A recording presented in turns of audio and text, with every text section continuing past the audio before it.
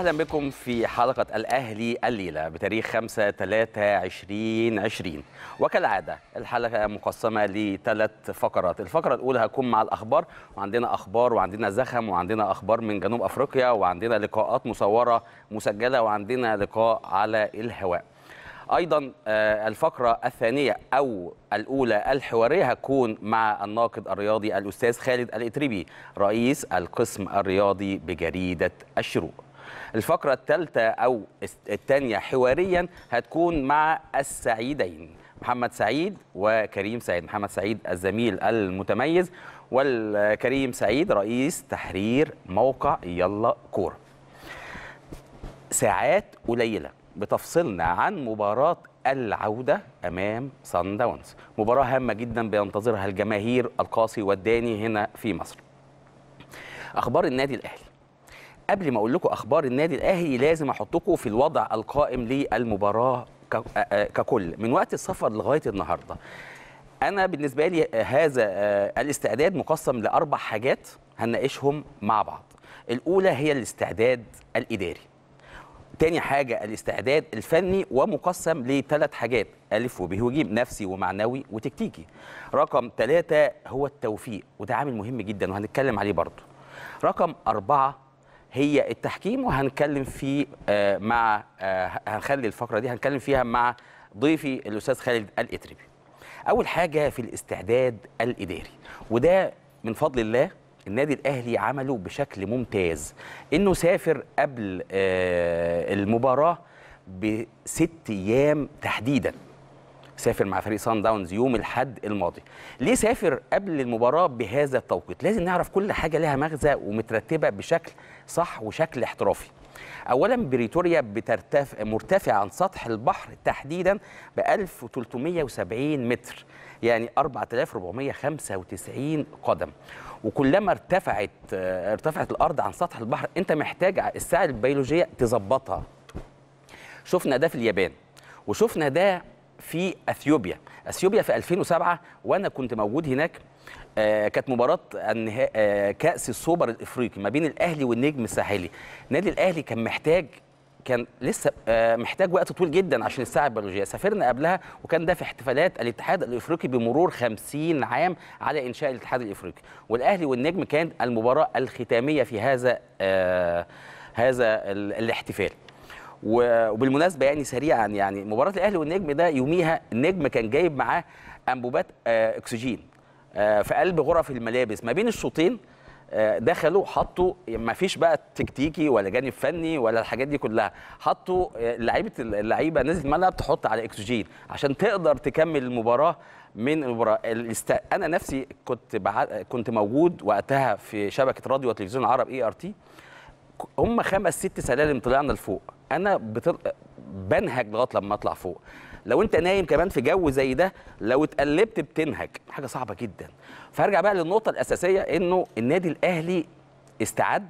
دي أول حاجة في الاستعداد الإداري إنه سافر قبل المباراة بست أيام عشان الساعة البيولوجية تتظبط عند اللعيبة. فتيجي وقت المباراة ما تفاجئش إنه في آه تعب في إرهاق في في. دي أول حاجة وعملناها بالشكل المستقيم أو الشكل الصحيح. تاني حاجة الاستعداد الفني. الاستعداد الفني للمباراة.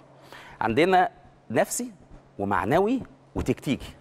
المعنوي إحنا آه، رايحين بفوز. صحيح الفوز ده هيتحط على جنب وهنبتدي الشوط الثاني وده اللي أكد عليه سيد عبد الحفيظ واللي أكد عليه الجهاز الفني بالكامل للعيبه إن إحنا هنبتدي الشوط الثاني من نقطة صفر صفر عشان ما نرتكلش للهدفين اللي جبناهم في القاهرة.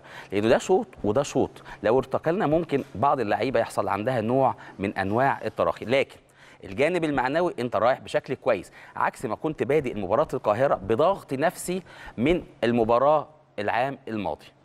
المباراة التي لن تتكرر كما قال موسيماني نفسه قال المباراة الخمسة لن تتكرر في التاريخ وهي تحدث مرة واحدة. لكن لكن بوعدكم في وقت من الأوقات مش لازم المرة دي يعني إنه الخمسة والستة النادي الأهلي هيكررها وبشكل كويس جدا إن شاء الله. أوعدكم في المستقبل القريب إن شاء الله. بالنسبة للاستعداد النفسي برضو النهاردة كان في أولا في محاضرة معنوية من فايلر للاعيبة النادي الأهلي بالفيديو هيدرسوا الفريق بالفيديو. وواضح من قرايتنا لفايلر إنه متفوق في هذه الناحية متفوق بشكل كبير يعني. متفوق إنه قادر يقرأ المنافس وقادر يهيئ لعيبته سواء من خلال الفيديو أو من خلال الاستعداد. أيضا النهارده كان في تمرين وده كل فقرة كان في فقرة ترفيهية للاعيبه النادي الأهلي استعدادا لصن داونز، ده بيجي في الاستعداد إيه؟ استعداد النفسي الموضوع بس مش استعداد لعب كورة ده كل الحاجات دي عشان تقدر إزاي تروح للمباراة وقت المباراة أنت واصل لل top form بتاعتك كل النقط دي أنا بحطكم على نقط احطوا نقط على وإحنا إيه اللي حصل من يوم الاحد لغاية يوم السبت القادم. فالاستعداد النفسي يعني أحد الأمور اللي فيه تدريب النهارده كان فيها فقرة ترفيهية أداها آه لاعبو النادي الأهلي والجهاز الفني. استعداد التكتيكي بقى. الصعيد التكتيكي بيجي فيه طبعا المحاضرة الفنية اللي إحنا اتكلمنا عليها محاضرة دراسة الخصم بالفيديو في المباراة السابقة وفي مباريات في الدوري في جنوب أفريقيا وآخر مباراه صن داونز. إزاي بيلعبوا وإزاي بيتحركوا؟ ودي تحديدا هنتكلم عليها بشكل دقيق النهارده كمان عندنا هنا في القناة. هيكون كريم سعيد. كريم سعيد شاطر قوي في إنه يقدر يقول لك تحركات اللعيبة بتروح وتيجي إزاي. فدي فقرة مهمة جدا هنتكلم فيها مع زميلنا محمد سعيد. يبقى ده الاستعداد ال- ال- الفني بتقسم لنفسي لمعنوي تكتيكي. فهمنا ده. تالت حاجة بقى في النقط اللي بقول لكم عليها التوفيق. ودي اللي كنت بكلمكم عليها من شوية وبوعدكم في المستقبل القريب. التوفيق محتاجينه بشكل كبير هذا العام وفي هذه المباراة المفصلية في دوري أبطال إفريقيا. ليه هذا العام؟ النادي الأهلي محتاج بقى لنا أربع سنين ما خدناش آه، ما رحناش آه، كأس العالم للأندية ما خدناش التاسعة واقفين عندها عندها حتى بعض الجماهير على السوشيال ميديا بدأ يحصل لها بلاش نقول التاسعة نقول العشرة الا واحدة ثمانية وواحدة. لكن ده التوفيق إحنا محتاجين التوفيق. تأكدوا تأكدوا إنه ريني فايلر ريني فايلر مدرب كويس قوي بس سيبك بقى من إنه إجابته وهذا هو كويس أو مش كويس. أي مدرب أو أي لعيب كويس محتاج عامل التوفيق معاه. يعني ريني فايلر لو خد البطولة هذا العام خد هذه البطولة ولعيبه النادي الأهلي هتكلم على ريني فايلر وهتكلم على لعيبة النادي الأهلي. ريني فايلر لو خد البطولة هذا العام وفاز بهذه البطولة اولا هيدخل كل كوب الجماهير الأهلاوية لأنه عربون الحب هذا العام مع الجماهير هو هذه البطولة. طبعا مع احترامنا للدوري مع احترامنا لأي بطولة أخرى. دوري أبطال إفريقيا هو عربون المحبة اللي هيخش وهتقفل عليه. تقفل عليه مش هيطلع تاني. هذا الحب لن يخرج من من قلوب كل الجماهير الأهلاوية. فهو محتاج هذا التوفيق هذا العام عشان عايز أقول لكم إنه لو خد هذه البطولة هذا العام السنة الجاية واللي بعدها واللي بعدها أنت راكب أفريقيا راكب أفريقيا كرويا. راكب كرويا ومعنويا. فهتخش السنة الجاية من إنك حامل لقب وإنه النادي الأهلي رجعوا نروح بقى لعيبة النادي الأهلي في نفس النقطة. إحنا بنتكلم في نقطة إيه؟ التوفيق. التوفيق للاعيب النادي الأهلي. بعض اللاعبين وبعض الصفقات الجديدة محتاجة إن هي تكون تندمج يحصل لها اندماج اولا مع شخصية البطل ومع شخصية النادي الأهلي. بمعنى شخصية البطل حاجة وشخصية النادي الأهلي حاجة لكن كلهم يحصل لهم انصهار في شخصية لاعب النادي الأهلي. بعض اللاعبين جايين نظرا للتكوينات النفسية والبدنية وال- وال- وال- والخبرات اللي قابلوها ممكن ده تساعدهم إن هم ياخدوا شخصية النادي الأهلي بسرعة. ممكن تساعدهم إن هم ياخدوا شخصية البطل بسرعة. هو ده اللي إحنا محتاجينه. ف بلاش أذكر أسماء لاعبين لكن في صفقات كتيرة جاية محتاجة معنويا معنويا إن هي تاخد البطولة السنة دي. لو خدتها هتلاقوا السنة الجاية شكل مختلف وإيقاع مختلف و... وكل اللي عندهم اللي أنتوا شفتوه قبل ما يجوا هتلاقيه بيعملوا بمنتهى السلاسة. لعيب الكرة محتاج الحاجات دي. لعيب الكرة محتاج إنه يكسب حاجة معنويا فياخد عربون المحبة عند الجماهير فيقدر يقف يقدر يقف يقدر يقف على الكورة طبعا ويقدر يقف على كل على على كل المباريات ويقدر يلعب كل بكل سلاسة كل المباريات. فهو ده جانب التوفيق اللي محتاجه لاعب النادي الأهلي. وخصوصا وخصوصا حسين الشحات وقفشه الاثنين دول أوعدكم إن إحنا لو خدنا البطولة النادي الأهلي يعني خد البطولة هذا العام السنة الجاية هتلاقيهم في ليفل تاني وفي حتة تانية خالص.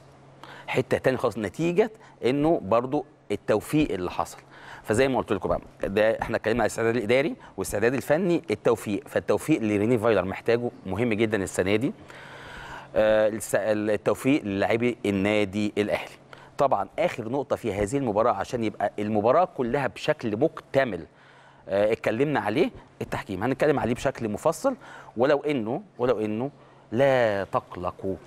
لا تقلقوا من من آه، ال- ال- التجارب السابقة مع حكم المباراة بكاري دي جسامة يعني. طيب آه النهارده كان في تدريب قوي طبعا مع آه مع الفقرة الترفيهية اللي كانت في تمرين النادي الأهلي.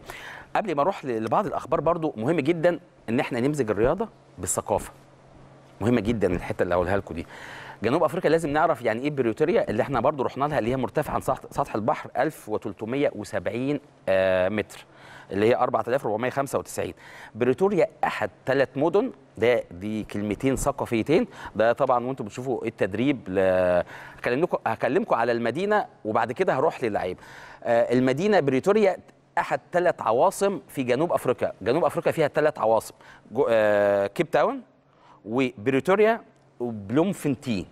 وكل عاصمة من العواصم دي ليها ميزة. طبعا هيكون كلامنا بشكل مفصل عن بريتوريا عشان نعرف لاعبه آه، أو المكان اللي بيستضيف المباراة. بريتوريا هي العاصمة الإدارية لجنوب أفريقيا. بلومفنتين هي العاصمة القضائية لجنوب أفريقيا. كيب تاون هي العاصمة التشريعية. آه، بريتوريا بتقع في الجنوب آه، الجزء الشمالي. وإحنا بنشوف آه، التدريب الأهلي النهارده اللي كان فيه تدريب قوي آه، للنادي الأهلي وهي يعتبر التمرينة الأساسية. بكرة هيخ- هيخف الحمل البدني بعض الشيء آه، عشان قبل المباراة آه، فبيخف الحمل. النهارده يعتبر التمرينة اللي ممكن تعمل فيها قوة وأيضا أيضا زي ما قلت لكم إنه امتزجت القوة والتدريب النهارده مع الجانب الترفيهي اللي كان فيه آه، أشبال من آه، جامعة بريتوريا راحوا النهارده للتمرين خدوا بعض الصور التذكارية مع النادي الأهلي اللي المدينة اللي بتحتفل بوجود النادي الأهلي بشكل أو بآخر بشكل أو بآخر. إنه كمان آه الاستعداد حتى من التذاكر يعني آه أعلنوا إنه إنه هتكون آه الاستاد مليان وهنتكلم على ال- التدريبات وهنتكلم على كل التفاصيل وهيكون معانا لقاء آه بالصوت والصورة مع زميلنا فاروق صلاح ولكن بعد هذا الفاصل.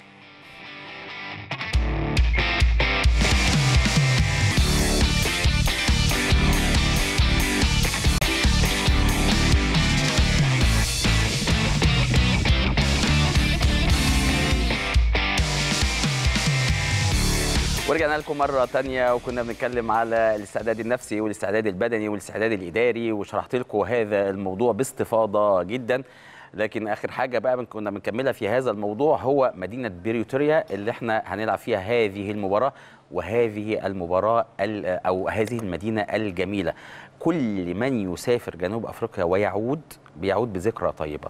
صحيح هم عندهم مشكلتين طبعا مشكلة الأمن بعض الشيء مساء. عندهم مشكلة دلوقتي حالا يعني الحمد لله إن إحنا خلصنا منها الكهرباء. وعشان كده تقريبا تقريبا إنهم هيلعبوا هذه المباراة في الثالثه عصرا يوم السبت القادم. عندهم ما عندهمش غير محاول واحد في الاستاد الاستاد اللي هي اللي هيستضيف التدريب بكرة تدريب النادي الأهلي غدا اللي هو التدريب الرئيسي. آه هيلعب آه، النادي الأهلي هي- هيلعب على أو هيتدرب على الاستاد اللي هيتلعب عليه المباراة. طيب آه، سيد عبد الحفيظ كان له تصريح النهارده وقال إنه شخصية الأهلي طريقنا لحسم التأهل الإفريقي في دور الثمانية. سيد عبد الحفيظ قال إنه شخصية البطل دائما ما بتظهر في هذه المناسبات. وإحنا فعلا محتاجين إنه آه، آه، شخصية البطل وشخصية لاعبي النادي الأهلي اللي كلمتكم عليها في آه، قبل الفاصل إن إحنا محتاجين إنه لاعبي النادي الأهلي يكتسبوا هذه الشخصية القوية. شخصية النادي الأهلي مطعمة ومفعمة وبشخصيه البطل. الاثنين إن شاء الله يمتزجوا ونشوفهم إن شاء الله بداية من يوم السبت حتى نهاية البطولة. مباراة سان داونز مطب أو هي عنق الزجاجه عشان تعدي للبطولة إن شاء رب العالمين. وزي ما قلت لكم إن إحنا مجرد فزنا بهذه البطولة أوعدكم لمدة ثلاث أو أربع سنين. خدوا هذا الكلام على لساني.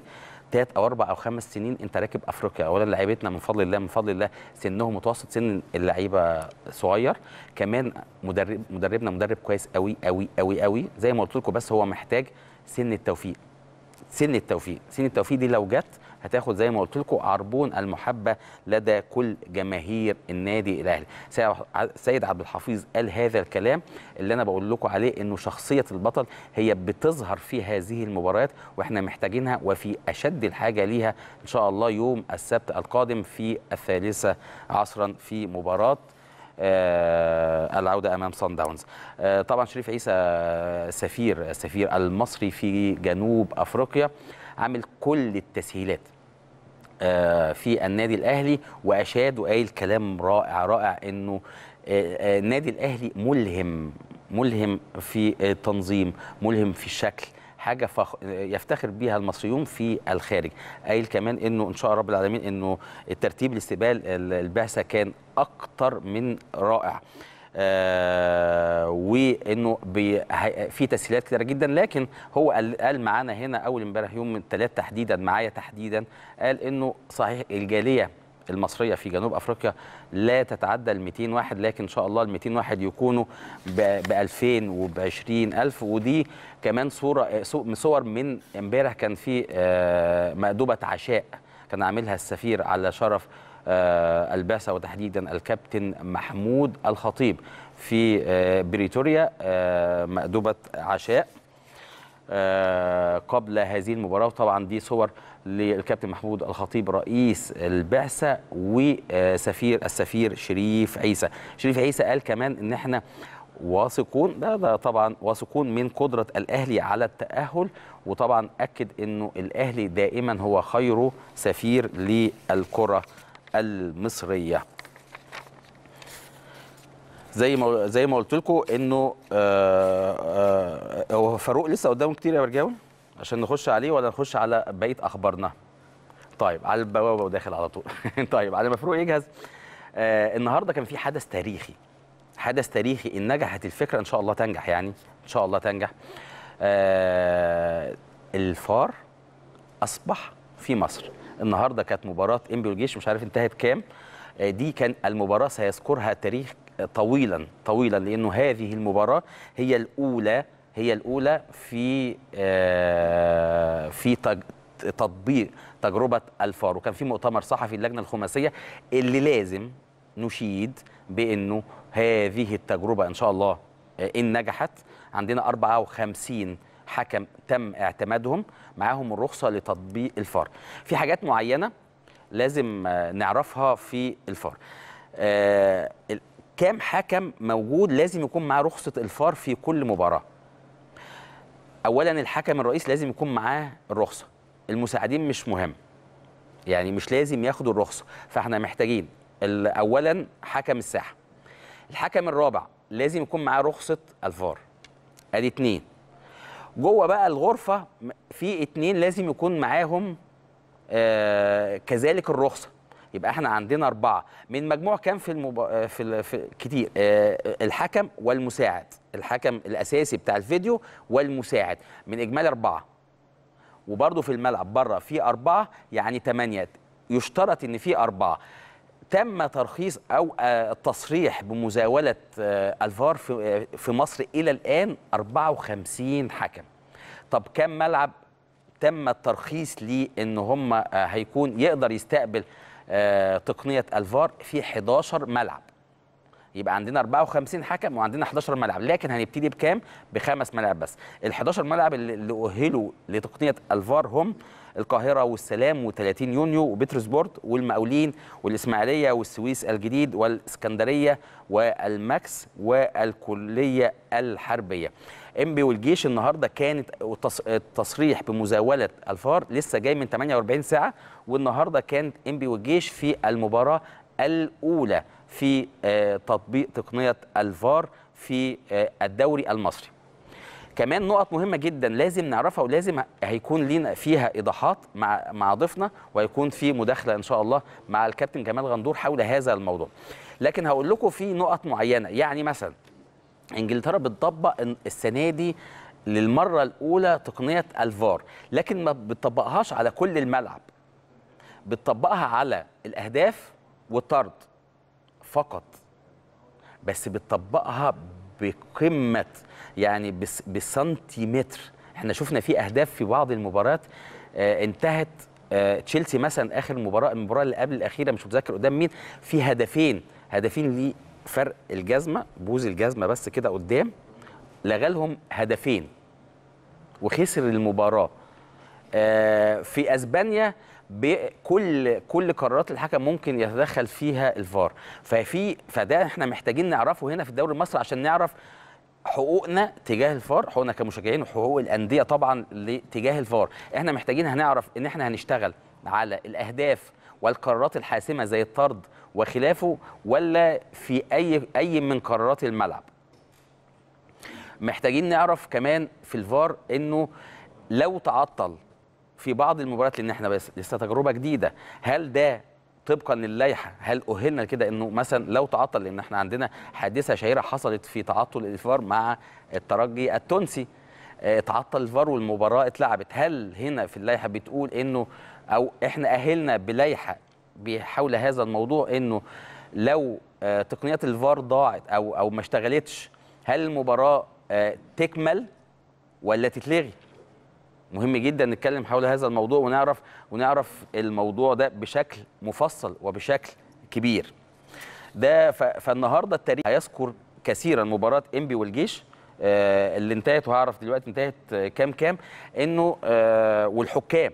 الحكام اللي حكموا النهارده التاريخ سيذكرهم طويلا إنه أول يوم تاريخ 5 3 2020 بتقنية الفار بتسجل بتخش مصر. وتحديدا مصر بتكون هي الدولة الثانية في أفريقيا بعد المغرب. المغرب طبقت الفار من السنة اللي فاتت. إحنا بنطبق تاني دولة أفريقية بتطبق تقنية الفار. صحيح ده بيدي مدلول كبير جدا وبيدي آه بيدي عدالة تحكيمية وبيدي قيمة كمان للمنتج. محتاجين الجماهير محتاجين تنظيم جيد. يبقى عندنا بطولة وهنرجع البطولة بتاعتنا بشكل بشكل كبير وهذا المنتج يكون له قيمة كبيرة جدا في مصر. النتيجة انتهت طلائع الجيش وان إنبي انتهت 0 0 ده أول مباراة طبقت فيها تجربة أو تقنية الفار انتهت بالتعادل السلبي بدون أهداف. طيب نرجع بقى ده ده كان أهم حاجة لأنه خبر مهم جدا في تجربة الفار وتقنية الفار. نرجع لصن داونز. زي ما كلمتكم على الاستعداد الست أيام الماضية. وقبل بس ما أطلع إنه 4 ملايين دولار تكلفة تقنية الفار. ده خبر برضو موجود إنه تكلفة تطبيق الفار 4 ملايين دولار لمدة 3 سنين ونص.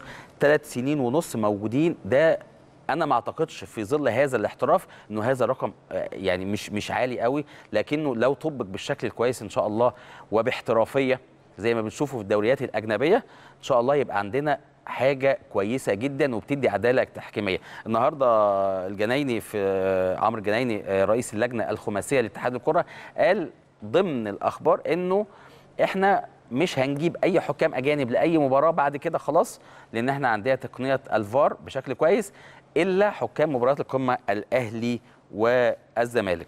برضو جمال غندور قايل برضو الحالة اللي كنت بقول لكم عليها في خبر أهو بيقول إنه رئيس لجنة الحكام بيعلن إنه أي مباراة أي مباراة آه مش الفار هيكون فيه بعض المشاكل لن لن يتم آه إلغائها. كنا مستنيين فاروق صلاح. يلا نروح لفاروق صلاح ونطمن على استعدادات وكل حطني مكانك. اولا أنت واقف فين؟ وعرفني أنت واقف فين دلوقتي تحديدا وحطني مكانك أكني داخل عليك ضيف دلوقتي.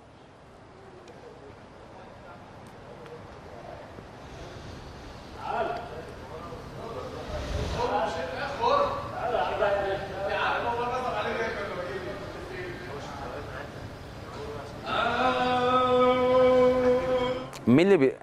طيب آه، آه، الصوت واضح إن هو لسه مش واصل بشكل كويس. هنرجع تاني ونتكلم فاروق صلاح. واضح إن يعني أنتوا سمعتوا صوت عالي إحنا سمعنا صوت عالي. واضح بقى اللهجة ال- آه، المصرية آه، واللهجة العربية منت... آه، يعني آه، أصحابنا وزمايلنا والصحفيين والبعثة الإعلامية واضح إن هي في الفندق. آه كنت بكلمكم على تقنية آه الفار وإنه آه، تكلفتها 4 ملايين دولار ونص لمدة ثلاث سنين ونص وإنه الشركة اللي بتطبق تقنية الفار في إنجلترا وفي أسبانيا طبقا لما قيل في المؤتمر الصحفي النهارده هي التي تطبق تقنية الفار في مصر. دي حاجة عظيمة.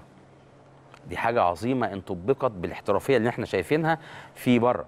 ونفس الشركة إن هي بتطبق على الدوري المصري دي حاجة عظيمة. حاجة عظيمة. والعظيم بقى نروح بقى لفريق لفريقنا في آه، رؤى عرفني أنت واقف فين وأنا جاي لك دلوقتي من خلال الهوا. احكي لي بقى الدنيا حواليك واحكي لي كل حاجة واستفيد. ومين بيغني؟ مين اللي بيغني جنبك؟ كل التحية ليك يا زميلي محمد الصاوي ولكل مشاهدي ومتابعي شاشة قناة النادي الأهلي في كل مكان من هنا من جنوب إفريقيا. وبالتحديد العاصمة الدبلوماسية بريتوريا مقر إقامة بعثة فريق النادي الأهلي. آخر استعدادات فريق النادي الأهلي لمواجهة فريق سان داونز يوم السبت المقبل بمشيئة الله في إياب دور الثمانية لدوري أبطال إفريقيا. آه، خليني أقول لك إحنا حاليا متواجدين يعني داخل مقر الفندق اللي بيقيم فيه بعثة النادي الأهلي عقب تناول لاعبين النادي الأهلي لوجبة آه، الغداء. بعض الأحاديث والجلسات ما بين اللاعبين والحث اللاعبين والأحاديث اللي ما بين اللاعبين لضرورة وأهمية اللقاء والتركيز في هذا اللقاء. أيضا كان هناك بعض الأحاديث الجانبية ما بين مستر ريني فايلر مع بعض اللاعبين عمرو السولية أو آه، اليو ديانج أو محمد الشناوي وكل الل- اللاعبين. مستر ريني فايلر بيتكلم مع كل اللاعبين يعني عايز أقول لك جلسات متواصلة مع كل اللاعبين اتكلم مع كل اللاعبين كل ال 20 لاعب الموجودين مع فريق النادي الأهلي. حديث مستمر من مستر ريني فايلر لكل ال- ال- اللاعبين. التركيز على أهمية ال- ال- اللقاء وحث اللاعبين دائما على أهمية هذا اللقاء ومواصلة الأداء الجيد في آه، هذا اللقاء. الجميع بيعلم ويعي تماما هذا ال- اللقاء. يعني لو استعرضنا زميلي محمد بقى سيناريو ال- اليوم النهارده آه، صباحا كان المؤتمر الصحفي لبيتسو موسيماني المدير الفني لصن داونز ولهجة التصريحات بدأت تتغير. يعني خليني برضه إن أنا هستفيد معاك في الكلام وهنتكلم في شقين. الصحفي الخاص ببيتسو موسيماني المدير الفني لصن تناول وسائل الإعلام للقاء. يعني النهارده بيتسو موسيماني في المؤتمر الصحفي تكلم على إن النادي الأهلي ربح أو فاز في شوط اللقاء الأول. لسه في شوط ثاني هنا في بريتوريا في لوكاس موريبي. بيمني نفسه طبعا إن هو يحقق نتيجة كبيرة على النادي الأهلي وبيميل وبيميل إن هو يعني عايز يعني بيتكلم ويستعرض نتيجة الموسم الماضي وإنه بيحلم بي يعني قال الطريق لينا للوصول لمباراة نصف النهائي. هو إحراز score من الأهداف وعدد من الأهداف في شباك النادي الأهلي. تكلم أيضا عن قوة النادي الأهلي وإن النادي الأهلي في لقاء الشوط الأول في القاهرة كان النادي الأهلي أفضل وكان النتيجة كانت متوقعة. أيضا تكلم عن ال- النادي الأهلي وإن النادي الأهلي جاي هنا بريتوريا مجرد لاقتناص أيضا وإن النادي الأهلي عنده القدرة إن هو يقتنص تذكره المرور للنصف النهائي. ولكن بدأ يلعب على الأوتار النفسية للاعبين إن لعيبه سان داونز قادرين على تحقيق ال- الانتصار وتكرار ال- ال- النتائج. آه، ويتوقع إن المباراة هيبقى فيها عامل ضغط نسبي على فريق سان داونز. قال بالفعل الهدفين اللي أحرزهم النادي الأهلي في لقاء الذهاب آه، عاملين عامل ضغط شديد على عليه وعلى لعيبة سان داونز. ولكن قال إحنا يجب علينا إن إحنا نتعامل مع هذا الأمر وإحنا وضعنا الخطة الخطة المناسبة لهذا الأمر. الشق الثاني تناول وسائل الإعلام للمباراة. يعني النهارده سواء الصحف في بريتوريا ذا ستار أو بريتوريا نيوز أو بزنس داي يعني أكبر الثلاث صحف في بريتوريا تناولوا اللقاء. تك- اتكلموا عن قوة اللقاء وقوة العناصر النادي الأهلي. يعني كان في مقارنة ما بين ثلاثة لاعبين في النادي الأهلي جونيور أجاييه وأحمد فتحي وعلي معلول ويقابلهم في الجانب الآخر آه، لاعبي آه، سان داونز زواني وموجيكا آه، وعاملين مقارنات ما بين اللاعبين إن هم يكونوا العناصر الفعالة في كل فريق.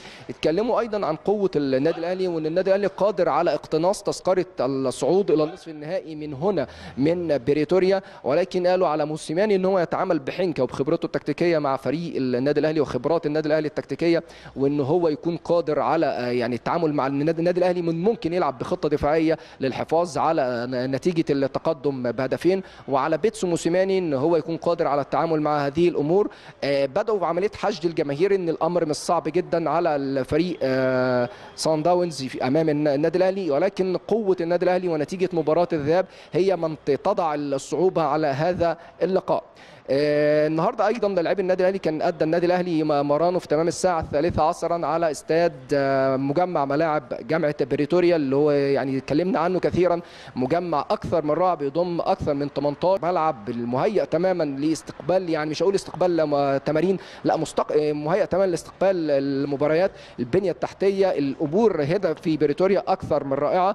آه، عقي يعني مران قوي أداه لعيبة النادي الاهلي. زي ما قلنا زميلي محمد ال 20 لاعب بيضعوا مستر ريني فايلر في حيرة. يعني لحد دلوقتي يعني ما تقدرش تتكلم تتوقع تشكيل تتوقع أي أمور لأن ال 20 لاعب على درجة عالية من الجاهزية الناحية ال- البدنية الناحية الفنية الناحية النفسية كلها بتو يعني بتبشر لعيبة الجماهير النادي الأهلي ومن خلال قناة النادي الأهلي بنطمن كل جماهير النادي الأهلي على قدرة ال- اللاعبين ولاعيبه النادي الأهلي قادرة إن شاء الله على اقتناص تذكرة المرور لنصف النهائي. غدا بمشيئة الله هيكون المؤتمر الصحفي الخاص بمستر ريني فايلر والنادي الأهلي ثم الاجتماع الفني ثم أول مران للنادي الأهلي على استاد لوكاس موريبي في تمام الساعة الثالثة عصرا. يعني إن شاء الله نقول كل الأمور مهيئة إن شاء الله. أيضا حالة الود أنا عايز أتكلم في نقطة مهمة زميلي محمد. حالة الود والترحاب اللي إحنا بنشوفها هنا في جنوب إفريقيا من كل أبناء آه، جنوب إفريقيا وبريتوريا وحبهم للنادي الأهلي واسم وقيمة مكانة النادي الأهلي. أعتقد يعني بتلقى استحسان من كافة الموجودين في البعثة المرافقة للنادي الأهلي. طيب فاروق آه قول لي بقى كده الاستعداد وطمنتني وتخضع طبعا ال 20 لاعب بيخضعوا لرؤية الجهاز الفني إن شاء الله يختار الأفضل. جوه الفندق أنت واقف فين بقى؟ قول لي أنت واقف فين وإن كان يسمح إن كان يسمح بإنك تتجول بالكاميرا وعرفني أنت واقف فين وإنت إيه اللي وراك أنت في أنهي طابق في الفندق الكواليس اللي ما مفيش أي حد يعرفها غير في قناة الأهلي. كان يعني في حد بيغني. زميلي كان في حد بيغني؟ مين اللي كان بيغني جنبك؟ يعني داخل فندق إقامة بعثه فريق النادي النادي الأهلي. يعني زي ما قلت لحضرتك عق- عقب تناول آه، وجبة آه، وجبة العشاء للاعبي النادي الأهلي. خلاص اللعيبة يعني الجلسات اللي ما بين اللاعبين اللعيبة الكبار في في النادي الأهلي آه، حديثهم يعني أحمد فتحي وليد سليم. ولعيبه النادي الأهلي والجميع داي- دايما يعني على قدر المسؤول كل اللعيبة. يعني زي ما اتكلمنا إن ال 20 لاعب في حالة فنية عالية جدا من الجاهزية الفنية البدنية. أمر يعني بيدي يعني حالة من الاطمئنان. عايزين نطمن جماهير النادي الأهلي حالة من من الاطمئنان لجماهير النادي الأهلي. آه، ولكن على الجانب الآخر بيدي حالة من الحيرة لمستر صحيح. ريني فايلر. زي ما قلنا ال 20 لاعب سواء ال 17 لاعب أو الثلاث حراس مرمى الشناوي وعلي لطفي ومحاوي مصطفى شوبير. يعني ال- الحالة الفنية الحالة البدنية اللي عليها كل اللاعبين. آه، تنبئ إن شاء الله إن قدرة لعيبة النادي الأهلي مش فقط على آه، قطع تذكرة المرور لنصف النهائي لكن إن شاء الله قدرة لعيبة طيب. النادي الأهلي على الفوز على صن داونز هنا في آه، بريتوريا أيضا من الأمور المهمة تواجد الكابتن محمود الخطيب رئي- كرئيسا للبعثة وشفنا الحديث المستمر والاجتماعات المستمرة مع مسؤولي السفارة المصرية لتهيئة كل الأمور وتذليل كل العقبات للاعبي النادي الأهلي ومسؤولي البعثة المرافقة للنادي الأهلي وأيضا الأفراد الجالية المصرية والعربية وأمر دخولهم لملعب المباراة. يعني الترتيبات اللي بتتم ليست متعلقة أو مقتصرة فقط على البعثة أو بعثة النادي الأهلي والبعثة المرافقه لفريق النادي الأهلي ولكن أيضا يعني متعلقة بجمهور النادي الأهلي وأفراد الجالية المصرية والعربية اللي يعني يعني في تواصل وفي اتصالات بتتم من جميع الدول الم- المحيطة بجنوب إفريقيا سواء من موزمبيق أو من زامبيا أو من ناميبيا. في اتصالات مع معالي السفير شريف عيسى من أجل الدخول لهذا اللقاء والحضور إلى بريتوريا لمساندة ومؤازرة فريق النادي الأهلي. ويعني زي ما تعودنا من طيب. النادي الأهلي أو النادي الأهلي في ال- اللي تم فيه لقاء الذهاب كانت المعاملة من النادي الأهلي لأفراد آه، جالية جنوب إفريقيا. كان دخولهم لإستاد القاهرة بباسبور أو جواز السفر. آه، ده الأمر اللي إحنا بي- بينتظره فريق مسؤولي النادي الأهلي إن يتم السماح لجمهور النادي الأهلي ومسؤولي وأفراد الجالية المصرية والعربية الموجودين اللي أعتقد إن هيملأوا إن شاء الله ويكونوا متواجدين على الميعاد إن شاء الله في هذا اللقاء. يتم دخولهم أيضا بجواز السفر. دي كانت آخر الأمور اللي يعني تم الترتيب ليها والتنسيق ليها واليوم أيضا بيصل إلى إلى بريتوريا طاقم التحكيم بقياده بقيادة الحكم الجنبي بكاري جسام اللي هيدير أحداث اللقاء. زميلي محمد دي طيب. كانت كل التفاصيل كل الكواليس كل الأخبار طيب. لفريق النادي الأهلي هنا ببريتوريا أنا موجود معاك لو في أي استفسار أو أي تساؤل. من خلال لقاءاتك مع الجماهير ومن خلال خروجك في الشارع آه، في بريتوريا شايف الحالة المعنوية لدى الجمهور إيه؟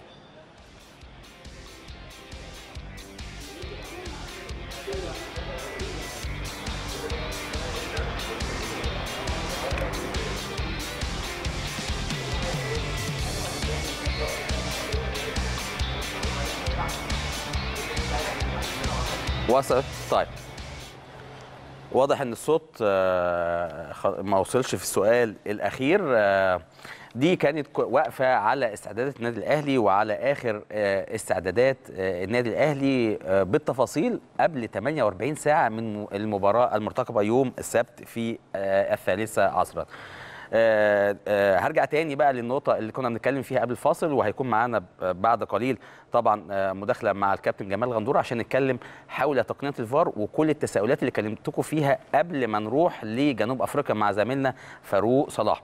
آه، التساؤلات اللي إحنا عايزين نعرف أنهي قرارات هنقف عليها أنهي قرارات هتكون هي مهت... آه، وظيفة تقنية الفار وحكام الفار هيقدر يتدخل فيها من خلال المباراة ولا أي قرار ولا الحاجات الحاسمة زي, الأهداف زي الطرد زي أي حاجة مهمة ولا مفتوحة على كل الحاجات دي. زي ما قلت لكم النهارده آه، كان آه، آه، كانت مباراة إنبي والجيش هي المباراة الأولى لتقنية الفار بعد وصول الرخصة الرسمية قبل 48 ساعة.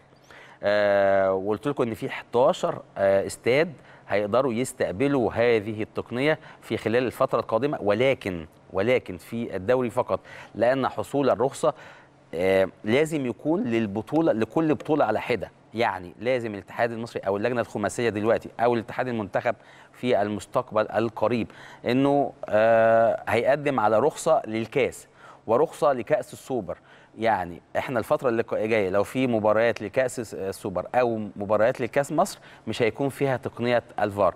التقنية أو الرخصة اللي جت هي في الدوري المصري فقط. آه وزي ما قلت لكم وليد العطار مثلا النهارده كمان له تصريح حول إنه اللجنة الخماسية صنعت معجزة لتطبيق الفار في أقل وقت لأنه كان آه، طبقا لما قيل النهارده في المؤتمر الصحفي. إنه لم يكن من مهام اللجنة إن هي تشغل تقنية الفار لكن هي خدت على عاتقها إن هي تطبق تقنية الفار في أقرب وقت ممكن وإن هم خدوا آه، خمس شهور خمس شهور آه، حتى إنه ن- تطبيق تقنية الفار في الدوري المصري. دي كل أخبارنا. قبل ما نطلع للفاصل عشان نستقبل ضيفي وضيفكم الأستاذ خالد الاتريبي رئيس القسم الرياضي بجريدة الشروق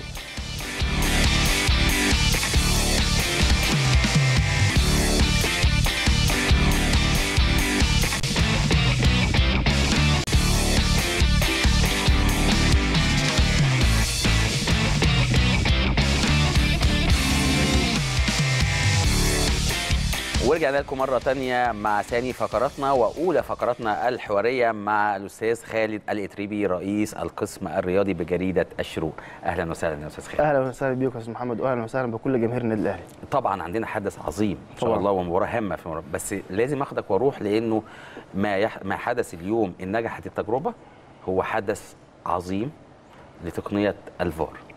طبعا بلا شك. يعني أنا واحد من الناس من, من أكتر الناس اللي انتقدت أداء اللجنة الخماسية في العديد من الملفات لكن لابد إن إحنا وإحنا عارفين إن إحنا بنتكلم بشكل موضوعي لابد إن لما تلاقي حاجة كويسة تشاور عليها وتشيد وتشد على إيد الناس وتقول إن أنتوا عملتوا آه، آه، حاجة كويسة عملتوا المفروض خطوة كويسة خطوة تم التشكيك فيها على مدار الأوقات اللي فاتت خطوة لا زال فيها برضو بعض التشكيك من قدرتنا من قدرة صحيح. الحكام من قدرة ال- اللاعبين على التعامل مع التقنية من قدرة كل عناصر المنظومة الموضوع ال- الناس فاهمة ممكن تكون فاهمة الفار بشكل غلط شوية. هو مش مجرد حاجة حصلت أو أو أو خطأ هيحصل كل كل وقت هنروح على الفار. أو هو مجرد تقنية بتحصل آه والموضوع انتهى لا صحيح. لابد إن إحنا كلنا. آه نكون مستعدين هنتعامل إزاي مع الفار. وده آه، موضوع مهم. وأنا شايف إن كان في تقصير شوية من اتحاد الكورة. آه، أو اللجنة المؤقتة لإدارة اتحاد الكورة إن هي كانت مركزة بس في فكرة تطبيق التقنية آه، كتقنية. لكن قصة إنك تفهم الناس ما. حصلش. ده ما حصلش. قصة إنك توعي الناس برضه ده ما حصلش. لأن إحنا دلوقتي دي حاجة جديدة علينا. وإحنا بنقول إن إحنا يعتبر تاني دولة. بنطبق في أفريقيا بنطبق ده. لابد إن إحنا برضو المشاهد لابد يعرف إزاي ليه ليه الحالة دي ما لجأش فيها للفار وليه الحالة دي لجأ فيها للفار. لكن لابد الفترة اللي جاية وده يقع على عاتق كل أطراف المنظومة إن إحنا لابد إن إحنا نقول للناس هنطبق ده ليه وإزاي؟ ودي حصلت إمتى؟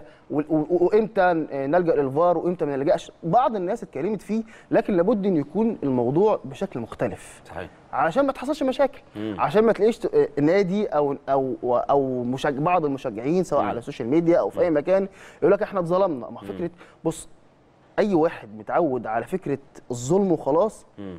إحنا اتظلمنا. مم. بغض النظر هو صحيح. دون إعمال العقل. أو دون إعمال أو دون آه، آه، التفكير عن أسباب خسارتك. لا هو إحنا اتظلمنا. في شماعة جاهزة إحنا اتظلمنا. التحكيم ايا كان. فطب خلاص الفار جه. الفار هيطبق برضه اتظلمنا. هي فكرة لابد إن إن أنت توعي الناس إيه اللي حصل. ما كانش آه، المطلوب هو مطلوب طبعا. ده شيء كويس وقلنا ان إن بنشد على إيد الناس.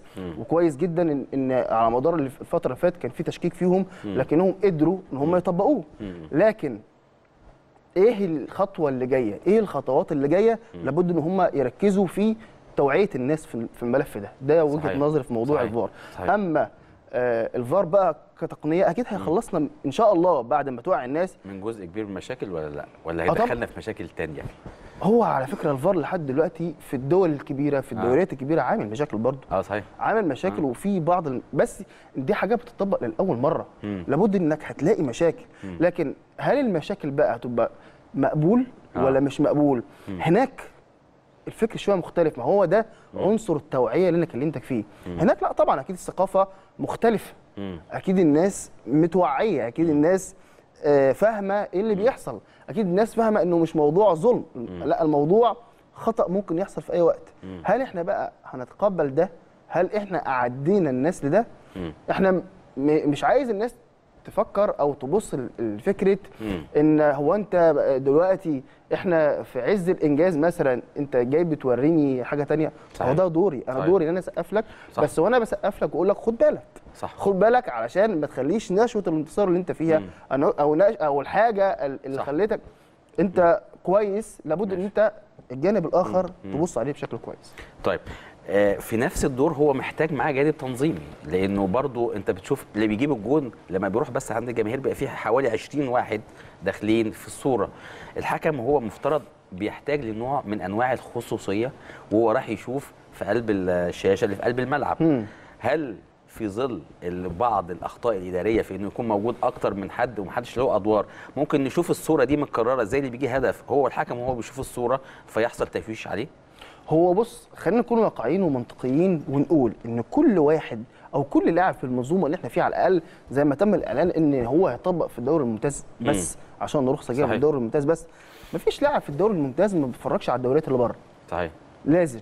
ومفيش لاعب شايف أو أو شاف قبل كده إن في حكم رايح يشوف فار بتلاقي مثلا في ناس وراه. مم. ابدا ما بيحصلش.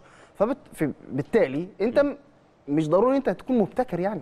صحيح. وحتى لو هتكون مبتكر ما تكونش مبتكر حاجة غلط. لازم تقلد الناس اللي أنت بتتفرج عليهم واللي أنت شايفهم قدوة. واللي إحنا بنحاول كدولة والدولة مثلا ممثلة طبعا في اتحاد الكورة إن هي بتحاول إن هي تطبق آه، آه، عنصر جديد في. المنظومة الرياضية إنك تساعد. صحيح. هو في النهاية لما نطبق حاجة كويسة أنت كلاعب هتبقى مستفيد إن جهدك ما بيروحش. صحيح. فلازم أنت كمان. برضو تكون فاهم وواعي إيه اللي بيجرى خد بالك بره. آه، في الدوريات ال- الأوروبية اللي بيتم فيها تطبيق الفار. أول ما القرار بيحصل خلاص اللعب بيمشي والموضوع انتهى صحيح ما فيش أي حاجة خالص مم. يعني حتى في آه، آه، تقريبا في الدو... مش فاكر الدوري ال- الإنجليزي تقريبا أو الأسباني ما, ما فيش حد بيروح هو خلاص هو ال- القرار. خلاص الموضوع انتهى آه،. في ثواني قليلة جدا خلاص وال... وال... وال... والماتش بيخلص. مم. فهي دي الفكرة الفكرة أو الحالة اللي في الماتش بتخلص. مم. فالفكرة كلها لابد إن أنت زي ما في تقنية موجودة وبتطبق أنت كمان تكون عنصر مساعد لنجاح المنظومة اللي أنت جزء كبير منها. هي قايمه عليك. صحيح. بس فده المفروض يحصل يعني من من لعبتنا المفروض يعني. طيب ونحن أمام إنجاز عظيم عظيم. إحنا متفقين حول خلاف هذا كبير. الموضوع إنجاز كبير. إنجاز كبير آه، وإن. شاء الله تنجح ال- ال- الموضوع آه. لكنه هو هيضيف بعض من العدالة لل- للأندية زي ما سيادتك قلت وهيضيف بعض من العدالة لل- لل- للاعب إنه مجهوده ما يروحش هل وإحنا برضه هنحط النقط على الحروف إنه اللجنة الخماسية هي اللي قالت إنه ما كانش من ضمن أدوارها هي جايب أدوار مم. من ضمن أدوارها إن هي تطبق تقنية الفار لكنها أسرعت في عمل هذا الموضوع وبرضه بنحط إنه هذا الإنجاز هذا إنجاز كبير. هل إحنا لسه مش مؤهلين زي ما أنت قلت إنه بعض اللاعبين ما نعرفش أدوارنا إيه؟ يعني الدوري الإنجليزي مثلا ما فيش ما فيش فار غير على ال- الأجوان والإنذارات والطرد. الدوري الأسباني مختلف الدوري الإيطالي مختلف. هل إحنا يعني ما حصلناش الثقافة دي للجماهير وغيرهم؟ قبل ما نطبق التجربة ما هو ده عنصر التوعية اللي بكلمك فيه عنصر آه. اعلاء ال- المفروض إن أنت كنت تعمل دورات تثقيفية حتى مم. المفروض إن أنت على الأقل كنت تبعت حكم واثنين صحيح. للفرق وإحنا الأندية كصحفيين. إحنا لا آه طبعا آه. ده ده القصة أنا بتكلم على إنك تبعت حكم واثنين وثلاثه آه ما أعرفش أكيد إن طيب. شاء الله طيب. يعني ده ممكن أنا وأنت بقى نروح بقى للعالمي نسأل طبعا ده, طيب. ده, ده نسأله طبعا في في القصة دي كابتن جمال مساء الخير محمد ازي حضرتك؟ تحياتي للأستاذ خالد منورين ده نورك يا كابتن. بشكرك بشكرك. و... ودايما زي ما كنت عالمي ودايما زي ما التاريخ بيستر إنه أنت كنت عالمي في كأس العالم وفي, وفي محافل عالمية كبير وشرفت اسم مصر. النهارده بنقول إن هو إنجاز كبير. إنجاز كبير النهارده انت كنت احد افراد هذه المنظومه ان إحنا نبتدي هذا آه، تجربه الفار وتقنيه الفار في مصر. بس عشان آه، حول هذا الموضوع هسيبك تعلق حول هذا وهذا اليوم التاريخي ومباراه انبي والجيش. محتاجين نعرف شوية حاجات منها. كل قرارات تخضع لتقنيه الفار ولا آه، الحاجات الحاسمه بس؟ لا طبعا هو اللي يخضع لتدخل الفار هو أربع حاجات فقط. وهي الأهداف مدى صحة الأهداف. تمام. يعني لو في هدف اتسجل تمام. آه، بنتأكد إن الهدف صحيح ولا لا. تمام. سبقوا مثلا تسلل سبقوا مخالفة فاول على المهاجم سبقوا لمسه يد ده الفار بيتدخل تمام. آه، الشيء الثاني ركلات الجزاء. ركلات ركلات الجزاء. اللي تمام. محتسبة بيتم التأكد منها إنها آه، تم احتسابها بشكل صحيح أو لو في ركلة جزاء لم تحتسب. تمام. الحكم ما حسبهاش ما شافهاش حكم الفار بيتدخل تمام. الشيء الثالث وهو ما يتعلق بالطرد المباشر. تمام. يعني لاعب يستحق الطرد مم. والحكم ما طردوش. هنا الفار بيتدخل وينبه الحكم إن في لاعب يستحق الطرد أو العكس إذا الحكم آه، طرد لاعب لا يستحق الطرد. هنا الفار بيتدخل لتصحيح آه، قرار الحكم. تمام. الشيء الرابع آه، وآخر حاجة وهي هوية اللاعبين. بمعنى انه لاعب حصل على كارت سواء أصفر أو أحمر صحيح. وهو اللاعب ده آه، بالخطأ يعني مش هو ده يعني مثلا صحيح اختلط الأمر على الحكم فد رقم 6 بدل 16 مم. الفار هنا يتدخل ويصحح هذا ال- الخطا ولكن مم. هي دي الأربع حاجات الأساسية تمام لكن هناك أمور آه، مهمة جدا زي مثلا ما حصل في مباراة النهارده. بنيجي مثلا في الركلات الثابتة أنت عارف الركلات الثابتة بيحصل فيها شد وجذب بين. صحيح صحيح الحكم بينبه على اللاعبين. وبيبلغهم انه كل تصرفاتكم مراقبة بالفار فلو حد شد حد ولا مسك حد ولا دق حد أثناء لعب الركلة الثابتة. هنا الفار هيتدخل وهتتعاقب. فبيحصل إيه؟ بيحصل ده اسمه تحكيم وقائي صحيح. بيحصل زي ماتش النهارده لو خدت بالك ما أعرفش خدت بالك ولا لأ. معلش كنا على الهوا. الركلات الثابتة. الركنيات اللي في مباراة آه، طلائع الجيش وامتي صحيح. مفيش ولا لاعب عمل مخالفة. مم. ليه؟ لأنه خايف لو عمل مخالفة الفار هيتدخل. وهنا الحكم هيعاقب اللاعب من البيت تمام. فبالتالي في أمور وقائية. مم. طول الم... طول الوقت حكم الفار جوه بيتابع المباراة مم. من خلال الشاشات اللي موجودة معاه في غرفة الفار. تمام. وبالتالي هنا آه، مش لازم آه، يعني مثلا إحنا لما حالة النهارده الناس مثلا ممكن يقول لك ده ما كانش في حالات فار النهارده. حكم آه. ما وقفش اللاعب وراح شاف. ما فيش حاجة تستدعي. إحنا طول الوقت طول شايفين. الوقت هناك تنبيه على اللاعبين. من الحكم مم. وهناك متابعة من حكم الفار داخل غرفة الفار لما يحدث على أرضية الملعب وبالتالي هتلاقي هنا الأخطاء في مباراة النهارده كانت معدومة تقريبا طيب عندي بقى استفسارين كمان اولا التسلل في الدوري الإنجليزي مثلا بيحسبوا بالسنتيمتر. يعني أكيد أنا عارف أنت متابع كل الكرة العالمية في ماتش تشيلسي اللي قبل الأخير. آه، ببوز الجزمة ده ما بيحصلش في الدوري الأسباني ولا الدوري المصري. وطبقا للحالات اللي سيادتك قلتها التسلل مش داخل. لا هو التسلل بيدخل لما ينتج عنه هدف. آه. يعني أنا مش بقيم حالات التسلل. صحيح. لا مم. أنا بقيم صحة الأهداف. آه آه. لو جه هدف من تسلل مم. هنا بنراجع على التسلل. مم. عايز اشرح لك نقطة التسلل دي ببساطة. يا ريت. آه، إحنا عندنا آه، آخر آه، آه، يعني أحدث version موجود من الفار اللي هو بنطبق فيه آه، خط التسلل. تمام. خط التسلل كمان مش خط التسلل اللي هو اللي هو ال- ال- المنفرد. لا إحنا بنطبق ال 3 دي. اللي هو بنسميه تريانجل النظام ده بيعمل آه، آه، مقارنة بين آخر جزء من المهاجم حتى لو كان في الهواء. وآخر جزء من المدافع. تمام. وبالتالي بنعمل هنا مسقط رأسي من الجزء اللي في الهواء اللي فوق. آه. عشان يشوف هو اللي سابق ولا اللي على الأرض هو اللي سابق. طب طب لو الإيد. لو الإيد طرف لا، الإيد أو طرف الجزمة أو تؤ- لا طرف تؤخذ في الاعتبار. آه. الإيد لا تؤخذ في الاعتبار. إنما الحذاء والحذاء جزء من ال- القدم. صحيح. آه. وبالتالي لغاية الكتف الإيدين ما بتخشش في الحسابات. ده النظام اللي موجود عندنا في مصر. صحيح. وده أحدث حاجة. آه مش عايز أسبق الأحداث. لكن خلينا في شهر ستة اللي جاي هكلمك عن آه ممكن يكون في تعديل في التسلل. آه بيتم اليومين دول آه الاي فاب بيدرسوا إن هو من الممكن من الممكن بس مش دلوقتي. من الممكن آه في التطبيق اللي جاي إن هم يستبعدوا مو- موضوع الأجزاء اللي في الهواء آه. ويعتمدوا على الأجزاء اللي على الأرض بس. آه ده ده ده التطوير الجديد اللي ممكن يحصل في شهر 6 ليه بقى؟ لأنه لقوا إن في تسللات بتتحسب ب صحيح. 66 سم امور كده صراحة. صحيح. يعني في كرة القدم أصبحت بتاخد يعني. من متعة الكورة وبتاخد من متعة الأهداف وبتضيع مجهود. لاعبين. طيب آخر حاجة بقى. بالنسبة لي إن إحنا لسه هتناقش أنا وأنت والأستاذ خالد. لا. السماعات. إحنا آه. يعني آه، ما هو برضو ما ينفعش أجيب أحدث حاجة في تقنية الفار وهو لسه بيستخدم سماعة آه، سماعة موبايل. لا لا لا مفيش سماعة موبايل.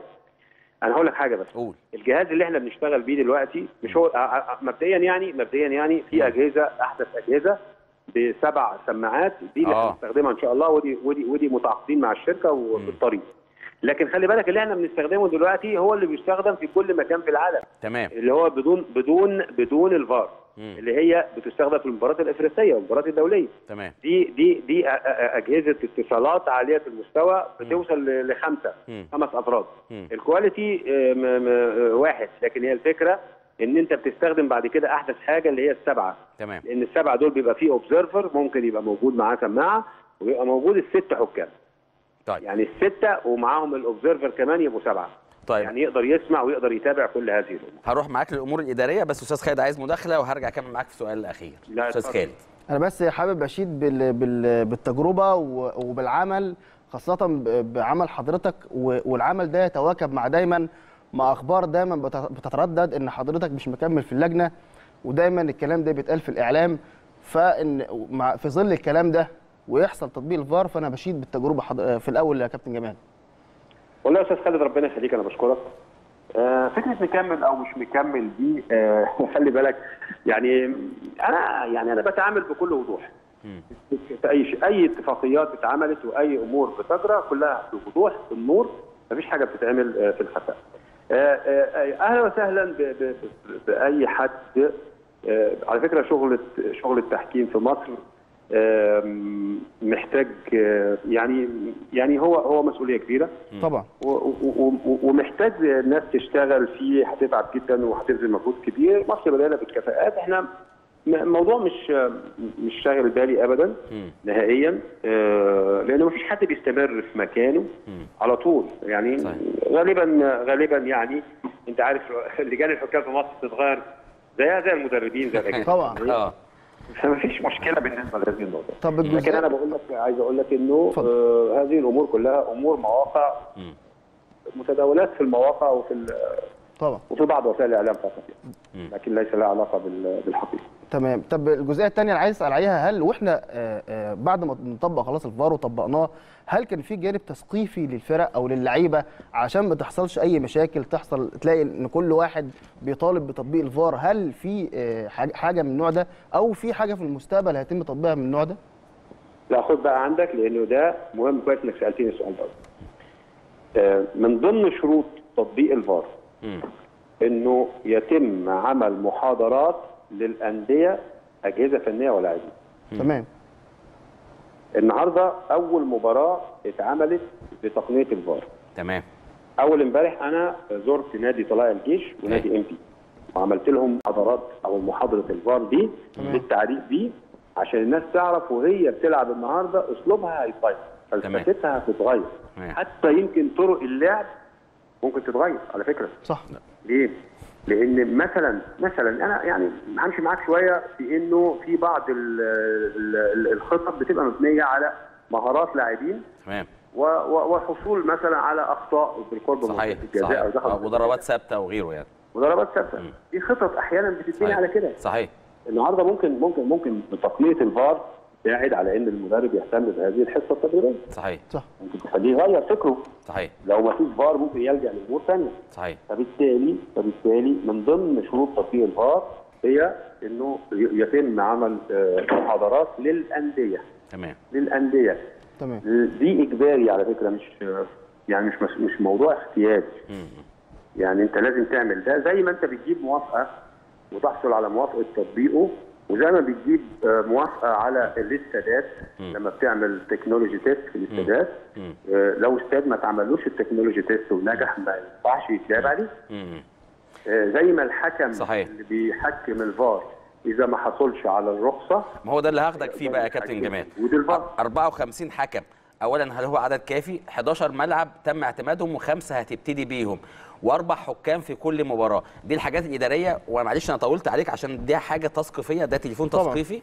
بعمله أنا والأستاذ خالد ليك عشان نوصل إنه الناس تعرف من خلالنا إيه واجباتها وإيه حقوقها وإيه اللي عليها. 54 تمام. حكم 11 ملعب خمس آه، ملاعب هتبتدي بيهم. أربع حكام لازم يكون معاهم الرخصة الحكم والحكم الرابع حكم الساحة وحكم الرابع والحكم تقنية الفيديو والحكم المساعد. مظبوطة الم- المعلومات دي ولو هصحح لك هصحح لك بعض الأمور. تمام. الحكم الحكم الساحة هو في ثلاث رخص بس للفار. تمام. رخصة لحكم الساحة مم. اللي هو بيصفر. تمام. اللي في الملعب. ورخصة لحكم الفار. تمام. تصحيح لحكم الفار المساعد فقط. لا ثلاث الحكم الرابع محتاج رخصة. تمام. ولا الحكام المساعدين محتاجين رخصة. تمام. تمام؟ دي بس تصحيح للحتة بتاعت تمام. فأنت عندك أنت عندك حكم ساحة حكم صفارة يحتاج إلى رخصة حكم صفاره مم. حكم الفار الأساسي. اللي هو بيبقى في الغرفة أو في الفان زي ما إحنا هنستخدم العربيات الفان ومعاه مساعد بنسميه AVAR يعني assistant آه. فار تمام دول لهم واجبات كل واحد ليه واجبات مختلفة عن الثاني. العدد كافي المساعدين اللي على الأرض الحكام المساعدين اللي على أرضية الملعب مم. كل اللي بيتمرنوا عليه عشان يشتغلوا بالفار إنه في حالات الهجمات. اللي من الممكن تسفر عن هدف ويكون فيها تسلل دقيق بيأخر الرايه تمام. لغاية لما تنتهي الهجمة. إذا انتهت بهدف يبتدي إيه؟ يبلغ الحكم إنه أنا كان عندي شك في التسلل ويتم التشيك على الحالة من خلال الفار. تمام. فقط لا غير. لكن هو مش محتاج رخصة. أي حد حكم مساعد يتدرب بس على التاخير ده تمام. يصلح لإدارة مباريات الفار. هل لو تعطلت تقنية الفيديو يتم إلغاء المباراة؟ لا نهائيا. الأساس في المباريات هو الحكام في أرضية الملعب. تمام. تقنية الفار معمولة عشان تساعد الحكم. تمام. وبالتالي إذا تعطل الفار يبلغ الحكم الفريقين إن إحنا الوقت المتبقي ده ما فيهوش فار. تمام. وتتم المباراة بالشكل العادي حتى لو في كأس العالم مش في الدوري المصري لو في طيب. كأس العالم نهائي كأس العالم تعطل الفار. صح. وده ودوري أبطال إفريقيا. طب لماذا الدوري فقط ولماذا آه، كا- كأس مصر والسوبر وكل البطولات الثانية لا؟ محدش قال كده. هو دلوقتي أنت حصلت على رخصة. رخصة تطبيق. الفار في ال Egyptian Premier League تمام. الرخصة في الدوري. المصري. تمام. لكن طالما حضرتك عندك الإمكانيات عندك الحكام اللي حاصلين على الرخصة عندك الملاعب اللي فيها آه، رخصة الفار فمن حقك تطلب لأي مسابقة تانية. مجرد إنك تطلب لأي مسابقة أعتقد الموافقة هتيجي بسرعة. أشكرك. اشكرك الإعلامي كابتن جمال الغندور رئيس لجنة الحكام المصرية على كل هذه التوضيحات وطولنا معاه عشان خاطر دي معلومات قيمة طبعا. للمرة الأولى بتتقال مهم إحنا كنا بنتكلم في الجانب التثقيفي هو مم. هو كابتن جمال دلوقتي قال ان ان إن حصل جانب تثقيفي مع لعيب مع اللعيبة النهارده وده أكيد هيتم بشكل متواصل مع لعيبة ال- ال- الفرق كلها صحيح. فده ده مهم جدا إنه يحصل. مم. المفروض بقى إن إحنا نعيد الكلام ده في الإعلام كتير. إحنا المفروض نعيد كل الكلام ده. صحيح. مش مشكلة إن هو يتكرر بس يتكرر عشان اللي شا... اللي ما شافش يشوف. صحيح. واللي شاف واللي شاف يفهم تاني. يفهم تاني لأن الموضوع بالتالي، لسه صحيح. جديد علينا. مم. آه بنشوفه بره لكن كل الحالات دي لابد إن إحنا نتعامل معاها علشان نزيد ونسري من ال- الكرة المصرية. لازم يعني. طيب. آه نروح بقى للمباراة الهامة. طبعا. سان داونز مباراة العودة. كيف يراها الاستاذ خالد الاتريبي خلينا نكون واقعيين يعني مفيش أي مباراة أنت بتاخدها بتكون صعبة آه، بتكون سهلة حتى لو حتى مباراة ودية لأنك أنت بتكون ليك أهدافك منها. لكن كل الظروف المحيطة بالمباراة طبعا بتقول لك إن هي مباراة صعبة. أنت بتلاعب فريق مش سهل. بتلاعب فريق آه أنت كسبان هنا آه، بهدفين آه، أديت مباراة كويسة. عندك عناصر مهمة وعناصر قوية. عندك كل العناصر اللي تخليك تعمل مباراة كويسة. مم. لكن على الجانب الآخر برضو نفس العناصر دي عنده. بيلعب بفريق كامل العدد. بيلعب بدوافع كبيرة. بيلعب على الأرض ووسط جماهيره. تمام. كل الكلام ده كلام لو سألته لأي حد هيقول لك هو الكلام ده. لكن زي ما بقول لك هي الدوافع. مم. الدوافع إن ده خاصة إن هو عنده هو كلاعب عنده سابقة إن هو قدر يكسب النادي مم. أو الفريق اللي قدامه السنة اللي فاتت بنتيجة كبيرة. صحيح. فهو يفكر ليه أنا مش ه... طبعا هو مش هيدور أو مش في دماغه زي ما آه المدير الفني قال موسيماني قال إن هو آه وارد لكن صعب. مم. لكن هو أكيد مش هيفكر في إنه يفوز عليك فوز كبير. لكن هيفكر إنه يدور على التأهل. بغض النظر أنا ما بقولكش إن هو هيفكر في خمسة. طيب. لكن مم. هو هيفكر إنه يتأهل. وأنت على نفس على الجانب برضو الثاني انت لابد انك تكون عارف ان كل الاسباب اللي ادت انك تطلع بالنتيجة الكبيرة دي مم. أنا شايف ان هي تلاشت مم. تلاشت تماما والنادي الاهلي آه بص النادي الاهلي مم. طول عمره لا بيقول آه سحر ولا غلط ولا آه بر آه يعني مش يومي ولا أي حاجة خالص بيبحث مم. عن أسباب أو أسباب إخفاقه. عشان كده النادي الأهلي حضر للمباراة دي من بدري. آه. من أول ما اتقال إن في مباراة مع صن داونز الأهلي كان بيحضر الماتشين مم. ذهاب وعودة. حضر للماتش الذهاب بإنه يلعب في استاد القاهرة وده عنصر مهم جدا. وحضر لمباراه العودة إنه يحجز تاني يوم مباراة الذهاب. لتدريبات العصر. طبعا. مم. طبعا. النادي الأهلي حضر الماتش من بدري جدا. مم. قعد خمس أيام في جنوب افريقيا. ده ما كانش حاصل قبل كده. كل كل السبل آه، آه، سعى وعمل مساعي كبيرة جدا في كل أمور التحكيم علشان ياخد ضمانات معينة علشان لا لا يتسبب آه، أي عنصر خارجي. حلو قوي أنت فتحت الموضوع ده. يعني أكيد الجمهور محتاج يسمع منك كيف هذه الضمانات وكيف التخوف لديها من كل كبيرة وصغيرة. وهل هو تخوف يعني مسموح ولا لا غير مسموح أنا أقول لك الكلام اللي, اللي تردد خلال ال- ال- الساعات والأيام الأخيرة اعلاميا حتى تردد إن النادي الأهلي كان فيه وأنا حاليا بكلمك بصفتي صحيح. كناقد رياضي يعني إن النادي الأهلي كان في آه، تواصل مستمر مع الكاف آه، منذ آه، تعيين بكاري جسامة أو إسناد المباراة لبكاري جسامة علشان آه، يقود المباراة. والنادي الأهلي أكيد آه، آه، تاريخ النادي الأهلي مش كويس أو تاريخ بكاري جسامة مش كويس مع النادي الأهلي. وإحنا ما بنشككش في حد.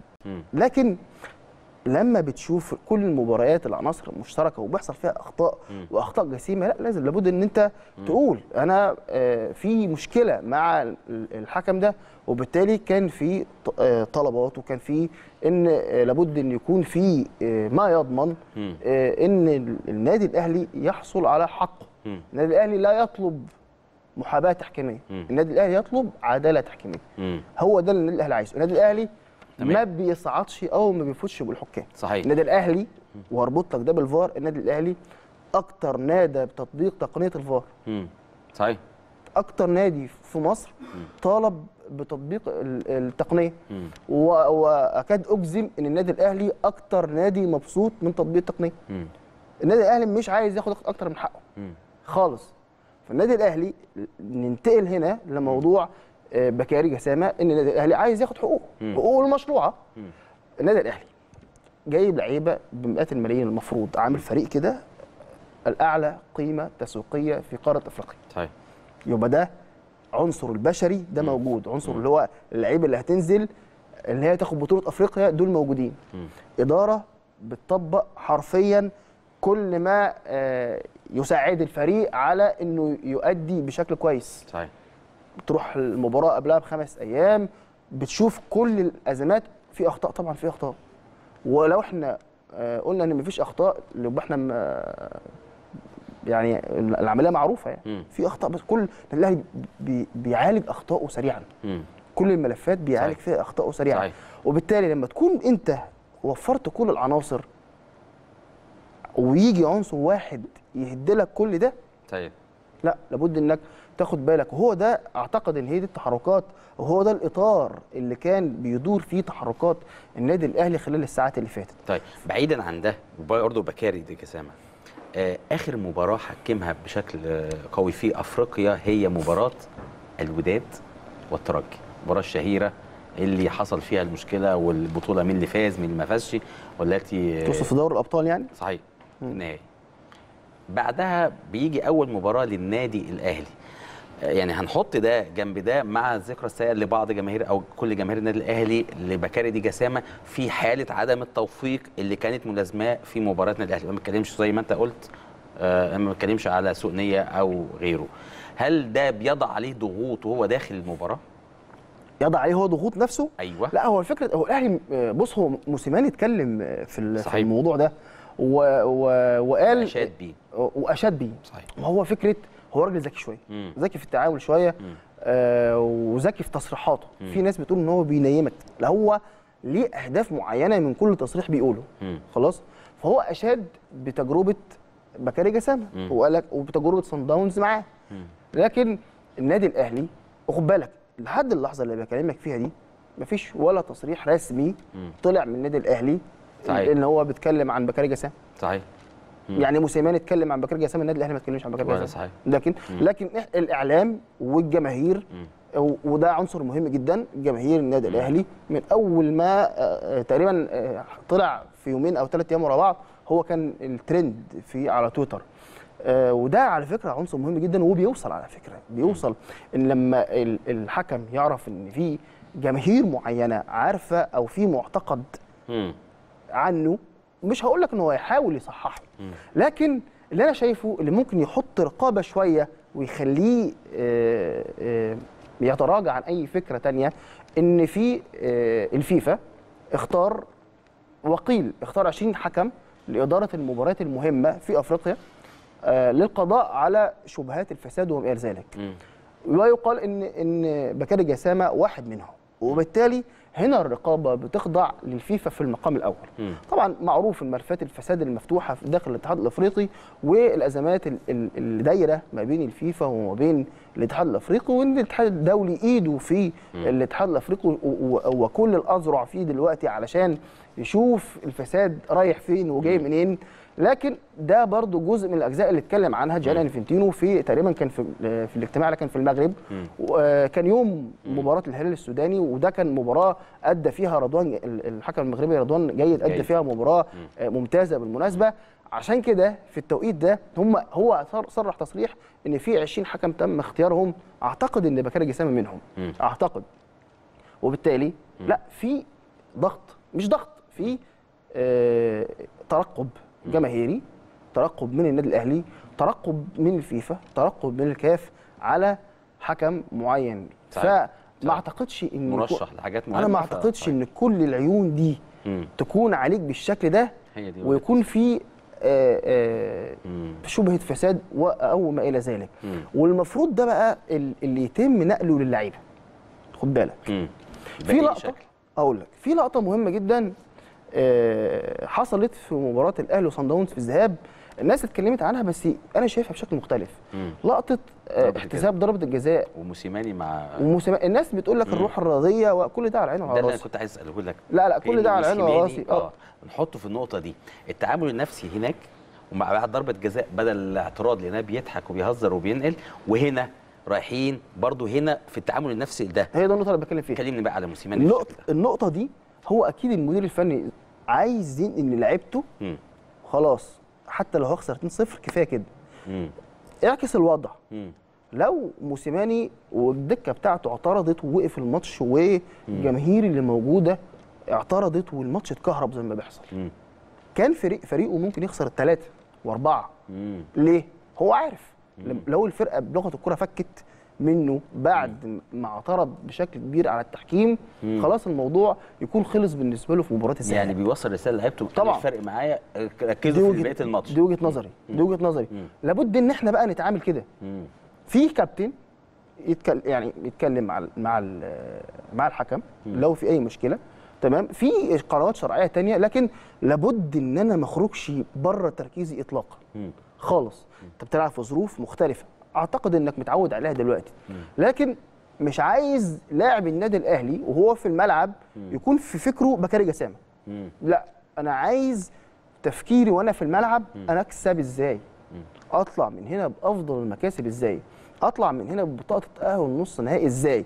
ده مهم جدا. وده مهم جدا ورسالة برضو للجهاز الفني. كل لما هتحاول أو تفكر إن محاولاتك بالثورة على على التحكيم ده هينتقل برضو اللعيبه. ايا كان أنت داخل على حكم خلفيات تاريخية بالنسبة له مش مش مظبوطة. وده ممكن يكون في دماغ اللعيبة أو في تفكير اللعيبة. فلو إحنا عززنا ده وإحنا كجهاز فني أثناء المباراة زودنا الإحساس ده ممكن الفرقة. زي وده اللي ده اللي إحنا بنتكلم على خبرات النادي الأهلي. خبرات لعيبة النادي الأهلي. شخصية. وشخصية النادي الأهلي. وإحنا قدامنا أكيد 48 ساعة. أكيد أكيد الجهاز الفني وصل له الكلام اللي بتكلم فيه ده. لكن أنا بتكلم من منطلق وأذكر. يعني أنت المفروض خد بالك أنت النادي ماشي في قنواته الشرعية وإحنا كإعلام ماشيين في قنواتنا الشرعية بنتكلم بنقول بكاري والجماهير شغالة برضو. مش ضغط ترقبه وبتقول إحنا واخدين بالنا وإحنا مش هينفع إن إحنا نحصل تاني. لكن لابد يكون في حالة فصل. مم. للاعيبه النادي الأهلي لأبطال النادي الأهلي جوه الملعب. أنا هخلص الماتش كورة. أنا هخلص الماتش حتى لو حسيت ببعض الميل شوية من الحكم أنا مش هقف أتخانق معاه. في النهاية في الأول وفي الآخر. لو بصيت على الجانب ده نفس القصة برضو اللي حصل من لعيبة الترجي وفي مباراة الزمالك. لعيبة الترجي فكت زي ما بيقولوا صحيح. بسبب مم. ولعيبة الترجي بادئة خبرات آه، انت بتتكلم في لعيبه. خبرات. لكن أول ما هتركز مع الحكم مم. الموضوع شكراً. بيختلف شكرا خلاص فأنت مش عايز مم. تروح مش عايز لعيبة النادي الأهلي تروح للسكة دي مم. انت ركز في الملعب هي دي الفكرة اللي أنا عايز أنقلها لعيبه النادي الأهلي والجهاز الفني لازم لازم نتعامل مع الموضوع ده صحيح وسيد الحفيظ له دور مهم جدا في هذه. المباراة لأنه كان بطل مباراة آه، سان داونز في 2001 وبطل البطولة الأفريقية رقم. ثلاثة وعلى فكرة آه، شيء مهم جدا برضو آه، آه، أنا بالنسبة لي صن داونز مع فريق زي بكاري جسامة أفضل كتير جدا اني ألاعب أي فرق من الم- من الفرق الثانية المعروف عنها مم. إن هي بتؤثر على الحكام. معروف الكلام ده لكن أنا بالنسبة لي صن داونز من الفرق اللي بتلعب كورة طيب في نفس الموضوع يعني هو دي ده سؤال اعتراضي مش محتاجين حتى نغوص فيه هو حسب ما تشوف مم. يعني. في تغييرات هامة أو تغييرات هتحصل في الاتحاد الافريقي شئنا ما بين التسريبات كلها بتقول كده. مم. في ضمن هذا الموضوع الاتحاد الإفريقي حريص على صورته إنه هذه المباراة أو المباريات كلها تخرج بالشكل المثالي مش محتاجين مشاكل تانية بالبلدي يعني صح؟ لا. ما تحط تحطش في الحسابات؟ لا لا. يعني أنا شايف إن هو لو كل واحد عشان ما نخصش بالذكر يعني مم. لو كل واحد بتحوم حو- حوالينه آه، حوله آه، شبهات فساد آه، وقف عن ممارساته هتلاقي الأمور بتختلف لكن عايز أقول لك إن لأ الموضوع مختلف هو كل شوية بيحصل فيه ملف فساد بيطلع ملف تاني بتجر ملف ثالث بتجر بتجر ملف ملف رابع والمشكلة إن هي مش قديمة. مم. بتلاقي ملفات جديدة. صحيح. يعني المفروض إن الكلام, الكلام على فساد الكاف أو فس أو وجود شبهات في فساد الكاف موجود من قديم الأزل. مم. وبيتم توارثه توارثه. مفيش مفيش آه، وقت بتحس يقول لك ستوب وقف الأمور لا مش شايف ده. مش شايف إن إن إن مباراة هي ال- ال- أو مباريات هي اللي هتخلي آه، الاتحاد الأفريقي يوقف عن تفكيره لو كان فيه. لو كان فيه. وده هيبان الفترة اللي جاية في تحقيقات من الفيفا شغال. نفس الموضوع. أنا أقصد إنه الحرص الكافي إن المباراه تخرج بالشكل الأمثل بدون مشاكل. زي مشاكل الهلال والترجي ف- فبالتالي يبقى في ضغوط على على حكام أو أنا على دي حاجة أنا واحد من الناس ما أقدرش أضمنها من الكاف تحديدا. ده ده حقيقة. إجابة وراها كلام كتير. آه طبعا آه طبعا. لا ما اضمنهاش من الكاف تحديدا يعني مم. الس... يعني السوابق بتقول كده مم. السوابق بتقول كده نتمنى وصلت لموضوع السوابق لا الحاجات آه طبعا ما في في أزمات في. في أزمات في الكاف معروفة يعني مم. هو في أكتر من ال... ال... ال... كان قالوا تقريبا آه، سعيد الناصري. آه رئيس الوداد رئيس نادي الوداد. المغربي وقال صحيح. إن هم وعدوني إن أنا أفوت الماتش ده عشان. أخد البطولة صحيح. السنة الجاية صحيح هو ده مش مش مش مم. تم تردد إن نقبل. بالقرار مقابل مش الكلام ده اتقال في. الإعلام اتقال. هو في دخان من غير نار. الجماهير نفسها دلوقتي كل وشها بتقول الجماهير أنا بقول لك نبض الجماهير اللي موجود على ال social media يقول لك إحنا حاسين أو كل ده ناحية توجيه البطولة. ناحية سكة معينة اللي كان اللي كانت بتتقال قبل كده. جبت سيرة الوداد. آه. الوداد والنجم. المنافسين المحتملين مش هروح بس يعني. مم. إن أنت جبت سيرة الوداد فلازم أقول. شايف شايف شكلهم إزاي؟ وشايف شكل المباراة دي إزاي قصادنا يعني؟ ده خط سيرنا إن شاء الله في حالة عبور إن شاء الله العالمين صن داونز شايف الوداد والنجم إزاي؟ مع تأكيد إنه مباراة الوداد قد تكون قد تكون بدون جماهير. ده شيء ممكن يسهل الأمور جدا على النادي الاهلي ده حقيقة. لأن ال- ال- الفرق فرق شمال أفريقيا تونس والمغرب بيكون الموضوع آه، قوي جدا جماهيريا آه، أو بيزيد قوة الفريق الفريق بتاعه جماهيريا لما يكون آه، الجماهير بالحشد الكبير ده موجود. وشفنا الوداد وشفنا جماهير الرجاء آه، بتعمل إيه وشفنا جماهير الترجي بتعمل إيه ولا الموضوع آه، إن شاء الله. بس إحنا أنا مش حابب إن أنا أبص آه، على آه، الخطوة دي. آه، أنا عايز بس أركز على مهمتنا طيب. الصعبة. نقطة مهمة جدا وأنت أحد أب يعني أبرز الناس اللي بتتكلم بشكل عقلاني على ال social media يعني عامل آه قناة كويسة على اليوتيوب وعلى على وسائل التواصل الاجتماعي وبتتكلم بشكل عقلاني للناس لأن إحنا محتاجين أصلا هذا النوع من الإعلام بشكل شكراً. كبير الفترة اللي جاية. انت إزاي شايف إزاي نواجه السوشيال ميديا في دعم فرقها ما بتكلمش على الأهلي بس كمان الأول. بتكلم على المنتخب الوطني بتكلم على الأهلي بتكلم على الزمالك حتى في في بطولته وجماهيره. إزاي نوجه هذه الجماهير إنها تكون داعمة أو تكون حتى منتقدة بشكل انتقاد إيجابي بحيث إن هو ما يكسرش من آه، عزيمة اللاعبين؟ هقول لك على حاجة. قول. أنا شايف إن ال- أكتر طرف مظلوم على مدار السنين اللي فاتت في حالة الانقسام الجماهيري اللي إحنا فيه ده هو المنتخب صحيح آه المنتخب آه، فقد معاك حق. جزء كبير جدا من الشغف الجماهير بيه صح وده مش تقليلا في. الوطنية خد بالك. لكن الظروف الكتير اللي كانت محيطة بالمنتخب والمشاكل اللي كانت بتصدر للناس عن المنتخب. زي ما بقول لك إن في ناس بعض الناس انصرفت للأندية بتاع صحيح. أو انغلقت. على الأندية مم. اللي بتشجعها بعض الناس بتشوف دي قضية مهمة جدا طبعا. أشكرك على إثارتها لأنه فعلا فعلا ده ناقص خطر بعض الناس مم. بتشوف أو بتفكر أو بتوجه تفكيرها إن ده ممكن يكون تفكير انتقامي من اتحاد الكورة مم. وأنا أقصد التشبيه مم. انتقامي من اتحاد الكورة بمعنى إن الفريق أو المشجع اللي بيشوف إن اتحاد الكورة جاي على مم. فبيعاقب اتحاد الكورة في شخص المنتخب. وده صح. وده تفكير ده- ده طبعا تفكير آه بعض المسؤولين أجبروا.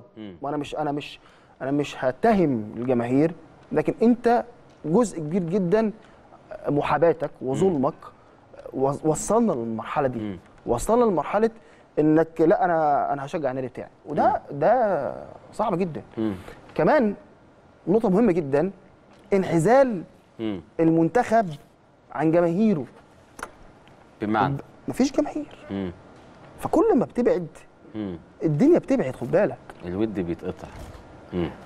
بص في ماتشات ضيق بالنسبة للنادي الأهلي والنادي الزمالك مم. يوميا كل يومين كل ثلاث أربع مباريات في. تحدي مم. في في ود ود من جماهير و- آه وفريقها آه يعني. آه المنتخب تحس إن في حالة جفاء ليه؟ مم. أنا مش ط... م- أنا زعلان من اتحاد الكورة. وزعلان من المدير الفني. وزعلان من اللاعب. واللي حصل في روسيا. وزعلان- كده. قفلت من ناحية آه. ده غلط. مم. ده غلط. وشايف إن إن إن دور من أدوار اتحاد الكورة. اللي جاي طبعاً المؤقت أو اللي جاي مم. لابد إنك تعيد الثقة. طب أقول لك على حاجة. الكابتن حسام البدري و- واتحاد الكورة بيقول لك إحنا كل شوية ألاقي خبر عايزين 40 ألف متفرج في الماتش اللي جاي. صحيح توجو. عارفين عايزين 50 ألف متفرج في الماتش اللي جاي. صحيح لو فتحوها. مش عارف. هتلاقي كام واحد؟ مش عارف. حقيقي فعلا مش عارف. لا هقول لك على كام واحد؟ لا لحظة.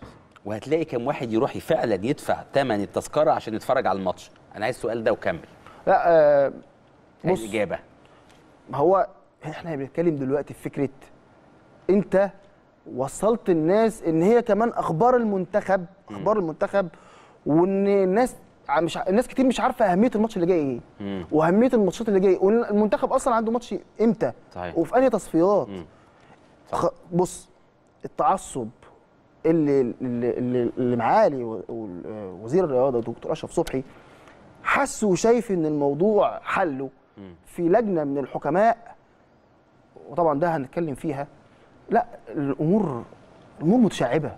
إحنا للأسف للأسف كل القائمين على المنظومة مش واخدين بالهم إن الموضوع يوم عن يوم بيتسرسب من إيديهم ويروح في سكك للتعصب. وسكك لا تخدم الرياضة المصرية وإن إحنا دايما عمالين نفكر في فكرة آه، لجنة تجر لجنة تجر لجنة تجر ثم. القوانين ما هي موجودة. هو أنا لما أجي اشكل لجنة ولا أجي اتكلم في لجنة هطلع هطلع توصيات. توصيات لا تتمتع بأي قوة. طب أنا عندي قوانين. طب مش لما اطبق القوانين ادور على التوصيات. هي سؤال هو سؤال بس. مش لما اطبق القانون أدور على التوصية. إحنا الناس كتير جدا بتتكلم ولجنة الحكماء ال- اللي اللي بتشكل أو تم تشكيلها دي ما هم ليل نهار موجودين في الفضائيات؟ مم. وبيقولوا وحضرتك موجود في الفضائيات وبتقول وأنا موجود في الفضائيات وغيره وغيره وغيره. ما هو بي- بيتكلم وبيقول وبيستشير وبيقول وبيعيد وبيدي حلول وبيدي استراتيجية وبيدي طرق. فين التنفيذ؟ ما هو مش فكرة ما أنا كل شوية بقول أنا هعمل مشروع لعودة الجماهير. طبعا إن شاء الله بعد ما الوباء يروح بإذن الله يعني إن شاء الله ما يجيلناش يعني إن شاء الله بإذن الله يعني. أنا هعمل مشروع. بس هو مشروع بيجيب مشروع بيجيب مشروع. إحنا فين؟ هي آليات التنفيذ. الموضوع مش مجرد ورق. أنا بكتب فيه الروشتة بتاعتنا إيه؟ مم. ابدا. خالص. ما سألتكش إن أنا فعلا روشته صعبة قوي لا إحنا إحنا اتك- مش هقول أنا بقول لك أنت اتكلمت ولا اتكلمت طب أنا عايزك. ترتب اللي هقوله لك ده بالترتيب. اللي أنت قلته هديهولك وأنت رتبه لي. اللي حصل الوضع العام اللي أنت بتتكلم عليه دلوقتي الخطير للمنتخب المصري. الخطير للمنتخب المصري وتشجيعه. أسبابه. رتب بقى لنا ما حدث في روسيا؟ هت... بالترتيب. كل الأسباب دي أسباب اللي أنت قلتها. ما حدث في روسيا من المسؤولين المتعصبين التعصب الجماهير عموما الجهاز الفني لمنتخب مصر. أدي أربع حاجات.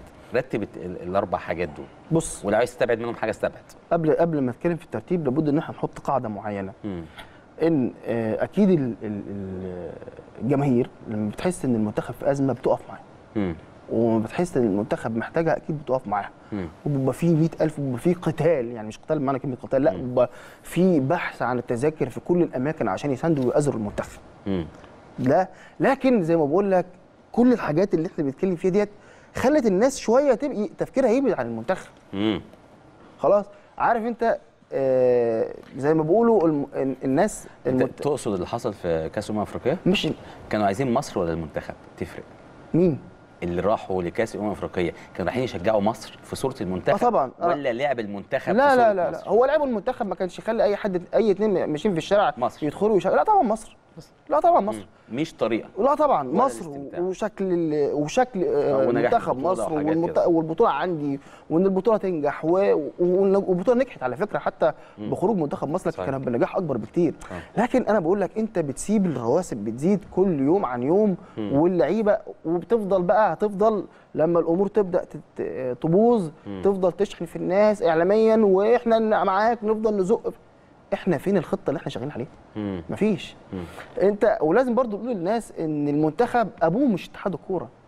انت مم. ابوه. صح. انت انت اللي راعي المنتخب. مم. انت المشجع الم- المصري مم. اللي راعي المنتخب. انت اللي هتبقى قاعد مبسوط المنتخب بلدك هو اللي بقى في المنطقة دي. اتحاد الكورة للأسف للأسف هو اللي بيحصد نجاح المنتخب حتى لو هو ما خططش ليه. آه. تمام؟ مم.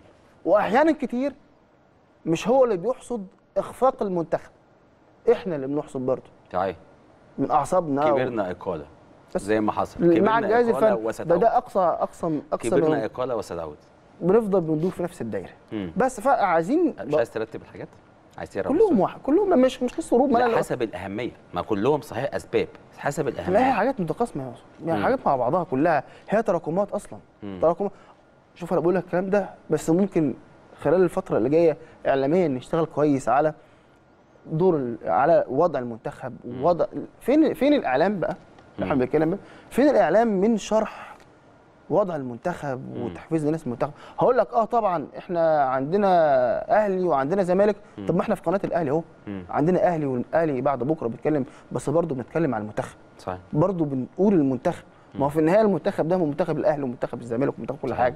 صحيح. آه إحنا بندي بنقول اهتمام كبير جدا للمهمة اللي بعد 48 ساعة لكن إحنا برضو النادي الأهلي وقناته لا لا جزء لا يتجزأ من المفروض المهمة اللي بتقوم بيها آه ناحية المنتخب وناحية اتحاد الكورة وناحية كل حاجة. طيب نختم بقى المنتخب ب آه، توجو. مين؟ توجو. آه. مين دي اعتراضيه ولا ما سمعتش حقيقي؟ لا لا ما خدتش بالي. يعني ما سمعتش بس لا. يعني مش عايز تعترض. لا لا اعترض على إيه؟ لا طيب. آه، شايف مباراة المنتخب إن شاء الله اللي في نهاية في نهاية شهر مارس نهاية الشهر الحالي شايفها إزاي؟ آه وشايف المنتخب إزاي بعد اللي أنت قلته كله؟ أنا هقدر أقول لك شايفها إزاي لما تق- لما الناس تقول لي آه، وضعهم إيه مع صلاح دلوقتي. يعني؟ وضعهم إيه مع صلاح دلوقتي؟ حل مشاكلهم مع صلاح؟ صلاح هيجي يلعب الماتش ولا لأ؟ وهيجي قبل الماتش. أعلن إنه هيجي. ماشي. حلوا المشاكل يعني؟ إيه؟ قول لي ما أنا بقول لك أنا ما أعرفش لا ما أعرفش أنا بقول لك انت جاي هنا هت- هتقول لي. الناس هتقول هو منتخب صلاح ما انت شفت المنتخب الفترة اللي فاتت كلها من غير صلاح عامل إزاي. لا طبعا طب انت تعتقد انه هيجي؟ هو المفروض انك آه، لا لازم هيجي. ما فيش حد ما فيش نجم عالمي هيجي كصلاح ولا بيستغنى- هيجي ك بجسم صلاح ولا بعقل صلاح وقلب صلاح زي. ما كان بيجي زمان؟ لازم إن شاء الله نتمنى إن ده يحصل. لكن لابد إن كان أو لابد ودي مناشده المفروض وكده لابد إن الجهاز الفني للمنتخب يعمل على إنه مش مش صلاح بس هو المنتخب ما هو الجنايني راح وبس راسه أستاذ عمرو الجنايني. ما ما هو آه، مش الأمور ما بتتحلش كده تحل إزاي؟ ما هي مش قاعدة عرفية في مص... آه، ولا, ولا جلسة قاعدين على المصطبة بنحل وأبوس تعالى بوس راسك وتعالى بوس راسي لو في اتفاقات وتحط بص صلاح شيء باينه طب على نفس السياق أنا آسف المقاطعه برضو على نفس السياق حسام بدري راح في ماتش أرسنال تحديدا. حضر الماتش لم تسرب أي صورة ولم يسرب أي شيء بعد الاجتماع مع إنه طبقا للي أنت بتقول عليه إنه كان لازم يتسرب أي حاجة هو ليه أصلا إحنا بنتكلم عن موضوع إنه يتسرب هو ليه. أصلا لا لا لا هو ليه أصلا مم. العلاقة دي مش باين لها ملامح أصلا. هو ده طبيعي أصلا. هو ده طبيعي إن يكون عندي نجم عالمي وأنا اتحاد كورة وأنا مدير فني المنتخب. مش عارف حجم العلاقة اللي بين الثلاثه دول إيه. هو الطبيعي إن يكون في أصلا مشاكل مستمرة بالشكل ده. آه. هو الطبيعي إن أنا أصلا عندي لاعب محترف أو براند عالمي المفروض. مش عارف أتعامل معاه لحد دلوقتي. هو ده طبيعي؟ مش ده الطبيعي عشان كده آه، حضرتك أنت بتسألني بتقول لي اللي اتسرب. ما إحنا بنتعامل مع الموضوع إن هو تسريبات. مفيش علاقة واضحة مفيش كلام واضح في الموضوع. فبالتالي إحنا للأسف زي ما بقول لك بتفضل نفس الفكرة مم. آه، قعدات العرب والجلسات العرفية و... و... وشايلني وشايلك. هو كده هي دي هي دي. عقلية آه، آه، تروح شوية لعقلية المشجعين. مم. وعايز أقول لك على حاجة إحنا أحيانا ساعات بنغلط بكلمة آه، عقلية المشجعين لأن أنا بتعامل كتير جدا مع عقلية المشجعين ده في ده يعني دول يديروا بصراحة. لأن عندهم آه، فكر وعندهم آراء وبشوف الآراء عاملة إزاي. أحيانا بتبقى بيبقى آراء ناس كتير جدا تخطى رأيك أنت شخصيا. ولازم لازم أنت تكون معترف بده. وإذا كان في إصراء لفكرك أصلا بيكون من كتر تعاملك مع الناس وتشوف رأي ده ورأي ده ورأي ده و... ده اللي السنغال بطل العرب. شايفها مش مستغربة. طب ما هو بص في كوبا أمريكا في كوبا أمريكا بيجيبوا آه، منتخب وبيلعب. وبعدين بطل العرب ده يعني بطولة شرفية يعني مش حاجة يعني. ولا- ولا- لا لا لا. ده شايف بطولة ودية يعني. مش عايز يعني ما تاخدش أكتر من حجمها. يعني ما حاجة يعني وبعدين هي دي بس الله أنا استمتعت بإثارة يعني الوقت معاك بيجري بسرعة بس أنا استمتعت بإثارة المشكلة اللي انت أثرتها بتاعت المنتخب الوطني ده لازم. سعيد جدا جدا لأنه فعلا هي أزمة ولا بد أن نعمل عليها لحلها يا ريت يا ريت. أخيرا بقى صن داونز شايفه إزاي؟ شايف المباراة إزاي؟ شايف توقعاتك أنت الشخصية؟ الشخصية هتمشي إزاي المباراة؟ أي نتيجة أنت شايفها عشان هنتقابل مرات قادمة وهقول لك. لا هو أنا دايما ما بتوقعش نتيجة في حد ذاتها لكن أنا دايما براهن على النادي الاهلي. ولما كنتش تراهن على النادي الأهلي ممكن تراهن على مين مم. هي دي الفكرة كلها. مم. مين آه، ممكن تراهن عليه قد ما ممكن تراهن على النادي الأهلي. فدايما النادي الأهلي يكون حاضر ودايما النادي الأهلي هو المرشح لأي المرشح الأول لأي بطولة بيشارك فيها. فإن شاء الله النادي الأهلي يحقق نتيجة إيجابية ويقدر آه، يعدي ويوصل للنهائي وياخد البطولة إن شاء الله. إن شاء الله. إن شاء الله. طيب آه ست أيام أو أنت قلت خمس أيام على فكرة كل مرة تقول خمس أيام وأنا قعدت اعديهم على صوابعي لقيتهم ست أيام. أنت ليه تاكل يوم ده؟ هم ماشيين ماشيين بدقة في النادي الأهلي. ست أيام هتفرق حضور 1370 متر ارتفاع 4000 قدم. ده طبعا آه، فسيولوجيا ويعني والساعة البيولوجيه لازم طبعا ده معمول حسابه يعني. هتفرق ده مع النادي الأهلي في الأداء يوم ال- طبعا بلا شك. طبعا يعني أنت خلاص أنت بقيت من من من أهل يعني زي ما- زي ما بقول لك من أهل المكان يعني. انت خدت ال- تاقلمت على الأجواء بشكل كبير. انت تخ... وقلت لك قلنا في الأول إن ده آه، خطأ كان في البطولة أو في المباراة الماضية تم تداركه فأعتقد وهيبان إن شاء الله في الأداء. أداء لعيبة المنتخب. وأنت بتلعب مع فريق أنت كنت مقابله من أسبوع. فريق مش غريب عليك وكسبته. تمام؟ أكيد لازم نتكلم وأكيد الجهاز الفني بيتكلم في تخطي الحاجز النفسي من الملعب ده. بس كويس جدا إن معظم في لعيبة كتير جدا هتلعب مباراة هي اللي كسبت آخر حاجة في دماغها. أنا اللي كسبت صن داونز أنا ما خسرتش منه في الملعب صحيح. ده فده آه، مؤشر إيجابي وعامل إيجابي من ضمن العوامل الإيجابية اللي النادي الأهلي خد بيها وأخد بالأسباب وإن شاء الله التوفيق من عند ربنا والنادي الأهلي يقدر يحقق المطلوب بإذن الله. هل لديك أقوال أخرى؟ شكرا. كده تمام. شكرا جدا آه، الأستاذ خالد يتريبي رئيس القسم الرياضي بجريدة الشروق. كل يوم خميس بيبقى ميعادنا مع السعيدين. والسعيدين قبل مباراة مهمة جدا.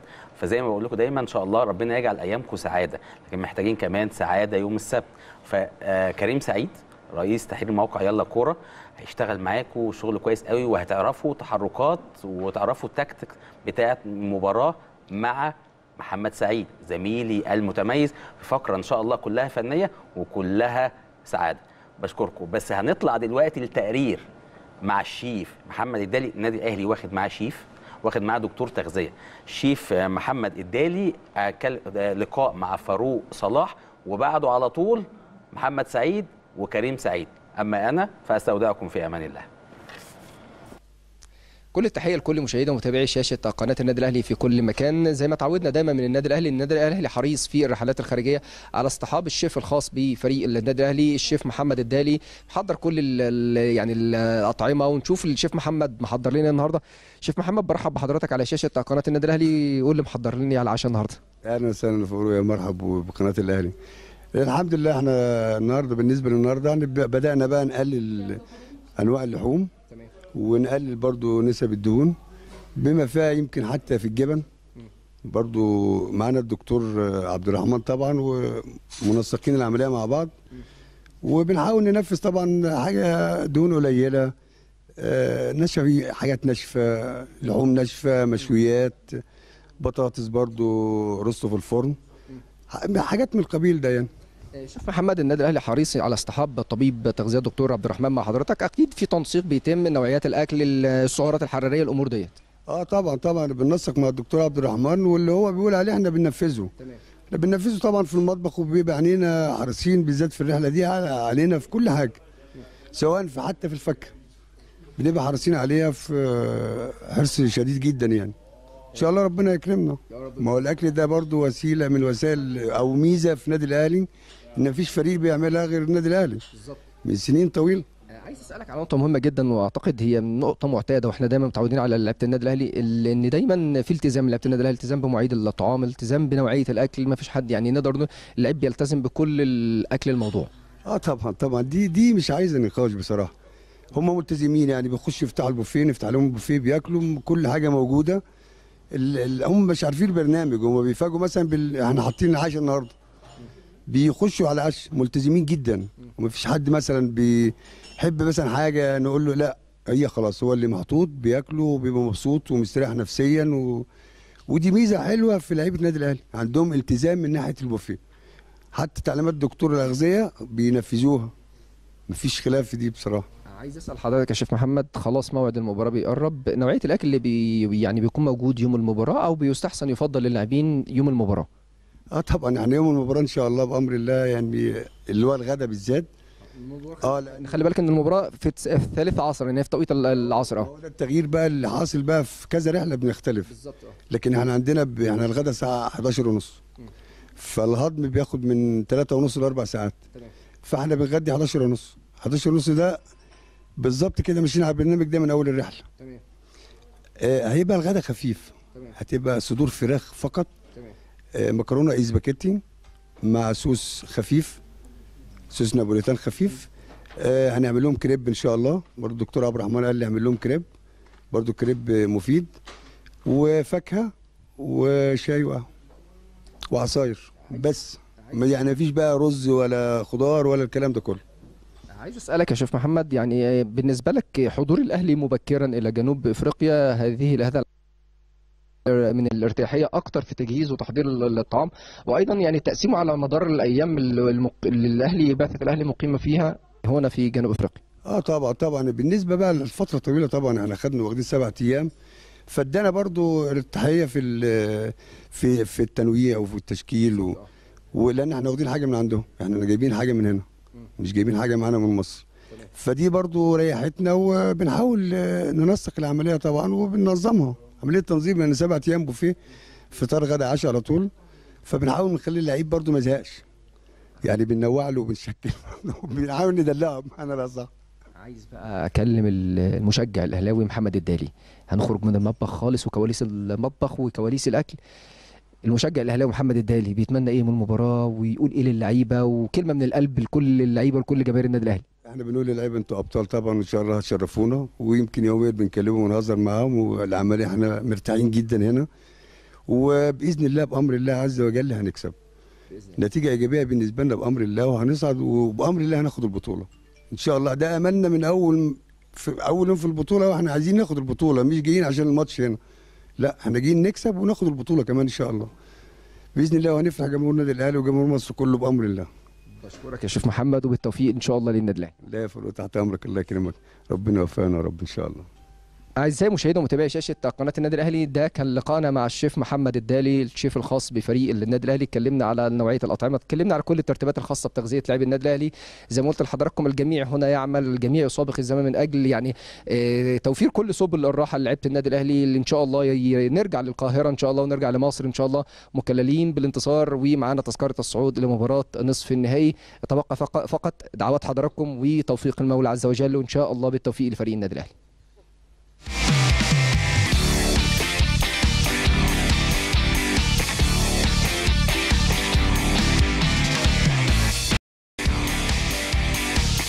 بسم الله الرحمن الرحيم. أهلا بكل مشاهدي قناة الأهلي في كل مكان في مصر والوطن العربي الكبير.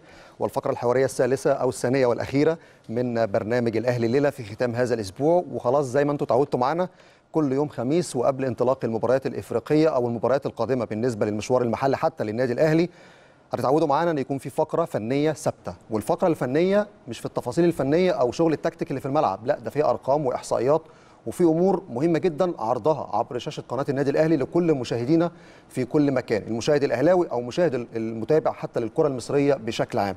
مباراة سان داونز والأهلي لقاء الإياب إن شاء الله يوم السبت الجاي في استاد لوكاس موريبي في إياب الدور الربع النهائي مباراة مهمة ومباراة فيها تفاصيل فنية لن تختلف عن الشكل اللي كانت فيها مباراة الذهاب. أكيد في تفاصيل وأكيد في جزئيات صغيرة وأكيد في شغل تكتيك فني بالنسبة لريني فايلر وبالنسبة لبيتسو موسيماني المدير الفني لفريق سان داونز. لذلك في هذه الفقرة زي ما أنتم متعودين معانا هيكون ضيفنا فيها بشكل دوري وبشكل مستمر الناقد الرياضي ورئيس تحرير موقع يلا كورة والمحلل الفني الأستاذ كريم سعيد وإطلالة حول هذه المباراة وأيضا كمان استفادة مباراة الذهاب وازاي النادي الأهلي قدر يكسب 2-0 وازاي يقدر يشتغل على مباراة العودة. كريم أهلا بيك ومنور الدنيا. أهلا بيك يا محمد ومساء الخير لكل مشاهدي قناة النادي الأهلي. طبعا الناس بتستنى الحلقة دي كل يوم خميس لأن اللي عملناه الأسبوع اللي فات نعم. بصراحة بأمانة يعني شابوه كل التفصيلة اللي قلتها على فريق سان داونز ظهرت من الثانية الأولى. هو طبعا الحمد لله إحنا بنحاول قد ما نقدر إن إحنا نقدم يعني حاجة مبسطة جدا للسادة المشاهدين وحاجة مختلفة طبعا عن شغل الجهاز الفني. إحنا بنحاول قد ما نقدر نفهم السادة المشاهدين إحنا إيه أفضل الحاجات اللي عندنا وطبعا المنافس بتاعنا عشان وأنت بتتفرج على المباراه يا محمد برضه دايما وانت بتتفرج على المباراه بشكل آه، تحليل تستمتع بيها بشكل آه، أكبر مش فكرة بس إحنا بنتابع. طبعا أكيد كلنا بنتمنى فوز النادي الأهلي في كل المباريات اللي بيلعبها بس طبعا. بتتفرج عليها وانت فاهم التفاصيل الصغيرة واخد بالك. حتى أعتقد ده بيأثر كمان في رأيك؟ انت ممكن حتى بدون ما تدري تبقى مثلا مثلا ال 45 دقيقة متضايق قوي قوي قوي من اللعيبه إيه ده؟ إحنا 0 0 ما رحناش على المرمى كتير. آه مش عارفين نجيب جون ومستعجلين عليه. الشوط الثاني طب إحنا جبناهم متأخر كنا نكسب 3 و4 لا في تفاصيل صغيرة لما انت بتعرفها أعتقد بتخليك يعني عندك ثقة أكبر باللعيبة. عندك ثقة أكبر بالجهاز الفني وعارف إن هو بيشتغل وإن أنت فعلا ما بتلعبش لوحدك. في منافس منافس قوي. قوي جدا. وعنده مدير فني محترم جدا جدا جدا.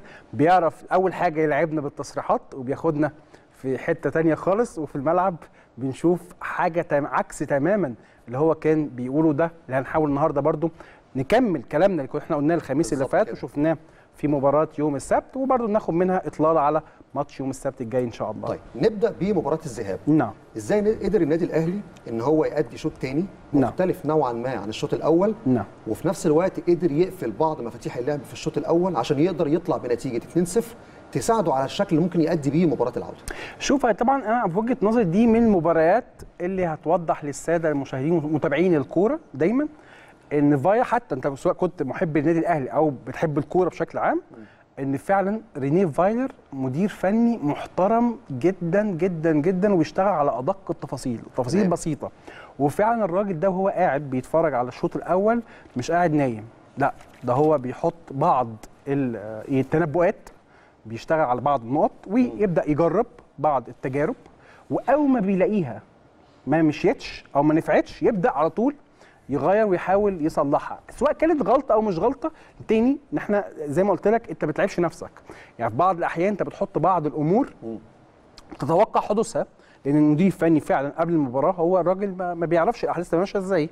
هو بيحاول إن هو يشتغل على بعض التفاصيل وبعض المعلومات اللي بيعرفها عن المنافس ويبدأ يحط عليها التكتيك بتاعه أو الخطة بتاعته. بس فايلر فعلا من المديرين الفنيين الجيدين جدا في الشوط الثاني ودي نقطة مميزة. ليه؟ إنك بتعرف إن هو شغال حتى لو عندي خطأ في الشوط الأول حصل بلحق نفسي هتدارك. في الشوط الثاني زي مثلا ماتش بلاتينيوم. بلاتينيوم ستارز كان في زيمبابوي. الشوط الأول كنا مغلوبين 1-0 والحال كان سيء جدا وكنا قابلين حتى لتقبل هدف ثاني والثالث في ال 45 دقيقة الأولى. في الشوط الثاني شفنا أداء. مغاير تماما وكنا إحنا الأقرب للفوز لولا يعني ربنا سبحانه وتعالى ما وفقش في الهدف. الثاني بس طلعنا بشوط أفضل وهي دي اللي إحنا دايما بنتكلم عليها فلما نتكلم على ماتش آه، الذهاب واللي حصل هنا في القاهرة نشوف قد إيه ريني فايلر إحنا عايزين أول نعمل مقارنة مهمة جدا جدا يا محمد نشوف أرقام سان داونز معانا في ماتش 5-0 تمام وأرقامه معانا في ماتش 2-0 دي كبداية كده قبل ما نروح طبعا إحنا النهارده هنقدم وجبة تحليلية بالصور عشان برضه تبقى الناس آه، معانا بالظبط. في الشكل مش بس إحنا بنقول أرقام. فهدي رقم بسيط جدا. تمام. ماتش ال 5-0 أكتر لاعب في سان داونز إحنا كنا بنتكلم عليه قلنا هو رمانة ميزان والعمود الفقري ال backbone بتاع الفريق هو كيكانا. كيكانا أكتر لاعب مع الفرقة دي. بيستلم الكورة من خط الدفاع. وإحنا اتفقنا إن طريقه موسيماني بيبدأ من عند أونيانجو زي وادي دجلة. بتبدأ ال building up بتاعك من عند الحارس وأكتر اتنين بيمسكوا الكورة المساكين. بس كل ده استحواذ سلبي يعني مش مهم. مش مؤثر. المهم اللاعب اللي بياخد الكورة وينقلها وينقل الهجمة. برافو عليك. فماتش ال 5 0 تعال نبص كده على رقم بسيط. تمام. كيكانا في ماتش 5 0 استلم الكورة في وسط ملعب المباراة وقدام ضغط النادي الأهلي والثلاث لعيبة لعبنا بيهم في وسط الملعب وكل شيء إحنا عملناه. استلم الكورة كم مرة؟ 79 مرة في ماتش ال 5 0 استلم الكرة آه 79 79 مرة. طبعا ده رقم خزعبلي جدا. أكيد. ماشي؟ طيب. في ماتش ال 2 0 كيكانا كان بيلعب متواجد. رقم 8 كابتن الفريق. تمام؟ وهو كابتن الفريق. والراجل قاعد في المؤتمر الصحفي وكل الناس مركزة معاه. كيكا أنا استلم الكورة كام مرة في ماتش ال 2 0 تخيل ادي رقم مثلا. ممكن مثلا حوالي 35 مثلا أو 30 كيكانا استلم الكورة 20 مرة. 20 مرة؟ 20 مرة. ال 35 الرقم اللي انت توقعته ده أنا قلت النص على الأقل. مثلا أكتر لاعب في فريق سان داونز وهو زواني اللي طبعا لعب في المباراة دي مش winger لعب في خط الوسط وكان آه، موسيماني منزله شوية عشان. يحاول يخليه playmaker وساب فيلاكازي وسيرينو هم اللي واخدين الشق الهجومي قدام. ما لحقش أصلا إن هو يستلم ال 35 آه، مرة الرقم اللي أنت توقعته ده. زواني استلم الكورة في المباراة كلها 31 مرة. فده يبين لك إن آه، بالظبط آه. ريني فايلر اشتغل إن خط وسط سان داونز ما يستلمش الكورة خالص بأريحية. ده ممنوع. أي فكرة لبناء الهجمة. ممنوع. ممنوع. ممنوع تماما إن أنت تفكر إنك تنزل وسط الملعب وتستلم الكورة. ده مش هي... ده مش هيحصل. وإذا حاولت تعملها في أول 10 دقائق وخمس دقائق هيتعمل عليك pressure كبير جدا عشان أجبرك تلعب اللعبة اللي أنا عايزها. إيه هي بقى؟ الكرة الطولية. وده اللي طولية. في الشوط الثاني وهم لعبوا عليها يعني حتى شفنا الشوط الأول بيتسو موسيماني لعب عليها في فاولات. الفاولات كان بيحاول إن هو يحط كرة في العمق. فيلاكازي ما بين ياسر إبراهيم ومحمود متولي ويسرقهم بفضل السرعة. طبعا هم طبعا لعيبة مميزة جدا في السرعة. بصراحة إحنا ما نقدرش ننافسهم في السرعة. اللعيبة كلها حتى نشوف كلهم اللي في خط الامامي قصيرين بنفس الطول وده بيخليهم حتى منسجمين مع بعض. فخلي برضه أقول لك الرقم بقى اللي إحنا إيه أجبرنا سان داونز عليه إنه يلعب الكرات الطوليه في المباراة الواحدة وبتتكلم على فريق بيلعب أصلا كوره على الأرض.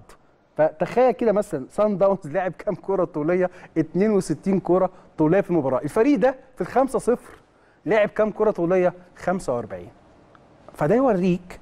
قد إيه ريني فايلر تحكم في مجريات المباراة ب 90 دقيقة.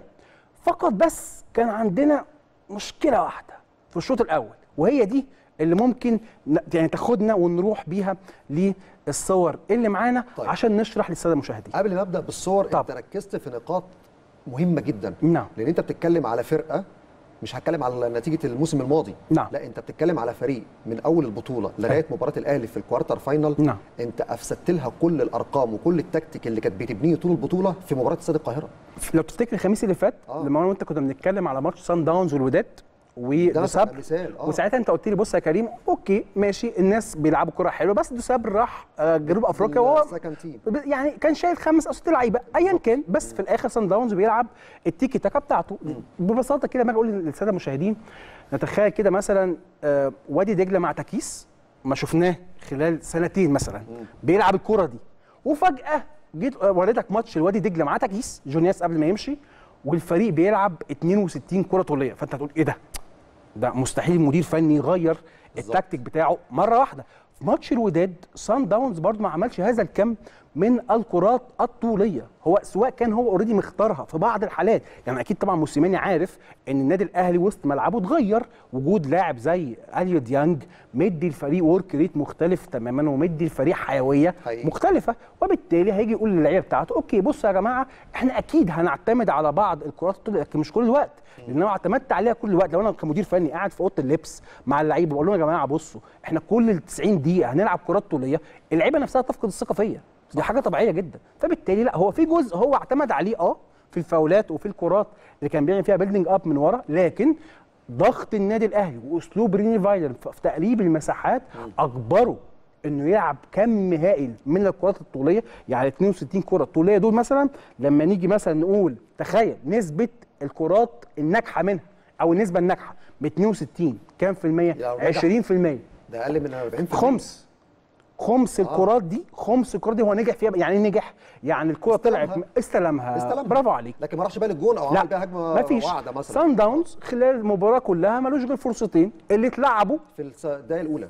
في في الثغرة اللي كانت عندنا في بداية المباراة واتلعب بسرعة. وبصراحة هو فاجئنا بيها. كانت وقفت في لطيفة. الملعب وخدت حمية المباراة. وقدرت حتى نشوف في كورة ياسر إبراهيم لما اتلعبت لو طلعها كورنر. لو. نفتكر. آه برافو عليك. وهو قعد فيها شوية على الأرض عمل tackling فظيع بصراحة. بس كنت أنت خلاص بدأت تفهم التركاية اللي موسيماني بيعملها في الهجوم. هو بصراحة عمل تركاية في الهجوم وعمل تركاية في الدفاع. هوريها لكم في الصور. نبدأ بعرض الصور اللي انت من طبعا. خلالها عايز تطلع بعض النقاط اللي فيها هايلايتس للتنفيذ الفني اللي حصل في الماتش. مهم جدا. ونفهم إن إحنا آه الشوط الأول كنا وحشين بس كنا برضو بنعمل اللي إحنا عايزينه. مثلا, مثلاً، دي آه. أول صورة معانا من الدقائق الأولى. دي الصورة دي أنا واخدها من أول خمس دقائق عايزين في الصورة دي نركز على زواني وفيلكادزي. الاثنين اللي قدام الاماميين نشوف عقليتهم في الضغط. اللعيبه دي بتعمل إيه؟ اللعيبه دي راجعة على نص ملعبها. بمعنى موسيماني ما كانش عنده أي نية إنه يضغط على النادي الأهلي في نص ملعبنا.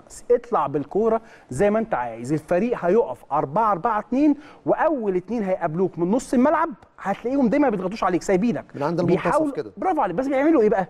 بيحاولوا يرجعوا يقفلوا المساحات في نص ملعبهم. أنا مش هعمل عليك high line defense أنا مش عايزه. لو تفتكر دي النقطة لحد ما إحنا توقعناها كانت طبيعية عشان خط وسط النادي الأهلي السنة دي.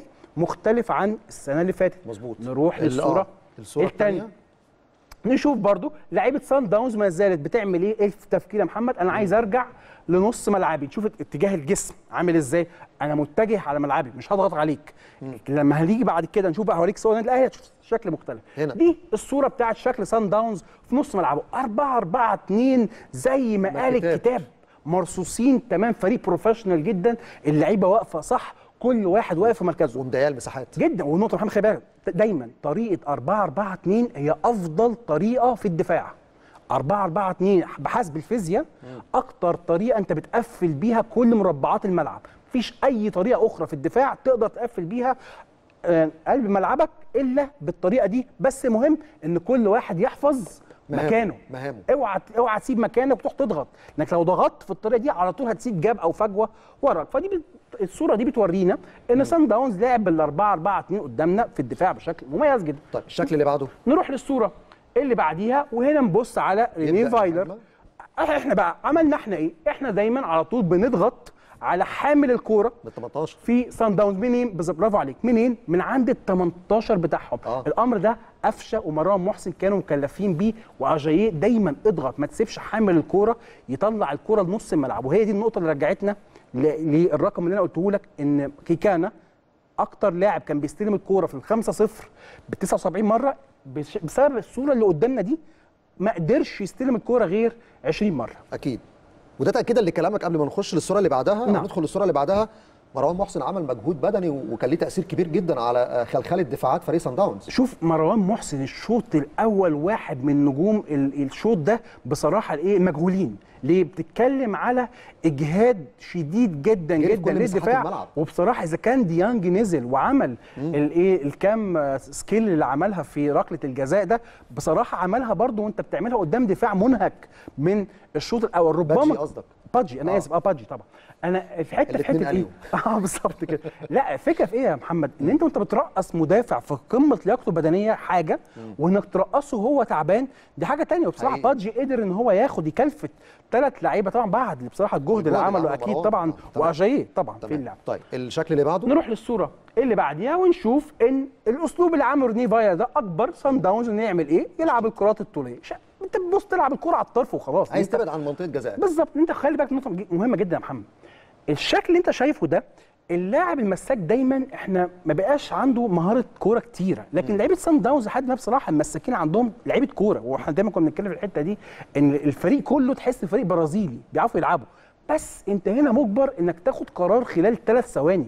إنك لو ما خدش القرار ده في احتمال إن الكرة تتخطف منك. فبالتالي إحنا أجبرنا سان داونز إنه يعمل الشكل ده كتير جدا ووصلنا للرقم اللي أنا قلت لك في الأول إن سان داونز عمل 62 كورة طولية نسبة نجاحها إنها وصلت للاعب في الشكل الهجومي كانت 20 دي ترجمة لكل الأرقام اللي أنت قلتها. وشغل فايلر. ترجمة، آه وشغل وشغل فايلر،. الايجابي نكمل طيب، ونروح؟ للصورة اللي وراها وهنا بقى نيجي عند المعضلة اللي كانت آه. عندنا. وهي دي في وجهة نظري الأزمة بتاعتنا في الشوط الأول اللي ما كناش قادرين بسببها إن إحنا نهدد مرمى أونيانجو بالشكل الكبير. إيه هو؟ الكرة دي بتاعت علي ثنائية علي معلول واجاييه شفناها كتير قوي في الشوط الأول. الشوط الأول بالذات. بس مختلفة عن اللي شفناه في الشوط الثاني ليه بقى؟ الشوط الأول كان المفروض إن ثنائية اجاييه وعلي معلول دايما تخلي اجاييه هو اللي داخل لجوه.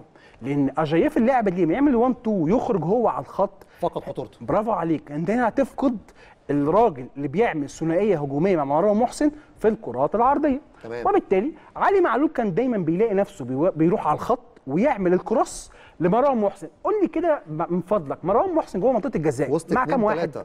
حلو. تلاتة. مين اللي هيكمل عامل يمين حسين الشحات. حسين الشحات لعيب طبعا مش طويل. وحسام فت... حسين فتح الملعب. جيت بعيد. آه. وكان بي ساعات بياخد يقدر ياخد الكرة الثانية لما بتعدي. لل- للناحية الثانية ولكن في الشكل ده نسبة إن مروان محسن ياخد الكرة من وسط ثلاث لعيبة اتنين مساكين وبيرجع معاهم كيكان هو كمان لعيب طويل وبيضم معاهم. كمساك ثالث صعب قوي فبالتالي إحنا كنا معظم الهجمات بتاعتنا بالشكل ده ووصل بينا الرقم اللي أنا هقوله لك ده إن إحنا في الشوط الأول آه. على عكس عادة فايلر الهجومية عملنا 17 كرة عرضية. في الشوط الأول. الشوط الأول بس. آه. وده رقم كبير جدا للي متابع أرقام ريني فايلر أو الأهلي مع ريني فايلر لأن إحنا بتتطور في دايما الشوط الثاني بالظبط لأن إحنا دايما في المباراة الواحدة بنعمل ك total 20 كرة آه، عرضية بس. النادي الأهلي مع فايلر ما بيعتمدش على الكرات العرضية كتير. الأهلي بيعتمد على ال passing على الأرض والاختراق على الأرض أكتر. وبالتالي أنا كنت شايف الموسيماني نجح في الحتة دي إن هو يجبرنا إنه يعمل boxing out تمام. أنت بتدفع اجاييه لبره المنطقة نروح للصورة. بعدها؟ اللي بعدها ونشوف برضو نفس الأمر. هي نفس الكوره دي. في الشوط الأول هتلاقي إن اجاييه هو اللي متطرف وعلي. معلول هو اللي جوه. فحتى علي معلول هو داخل منطقة الجزاء. مش عدلته. مش عدلته. حتى وقفته كمان. ومش هيقدر يعمل خطورة. انت أكتر حاجة انت عايزها في اللعبة دي ان معلول يلعب الكورة على مشارف منطقة الجزاء وحد من اللي جايين من ورا. يشوطها.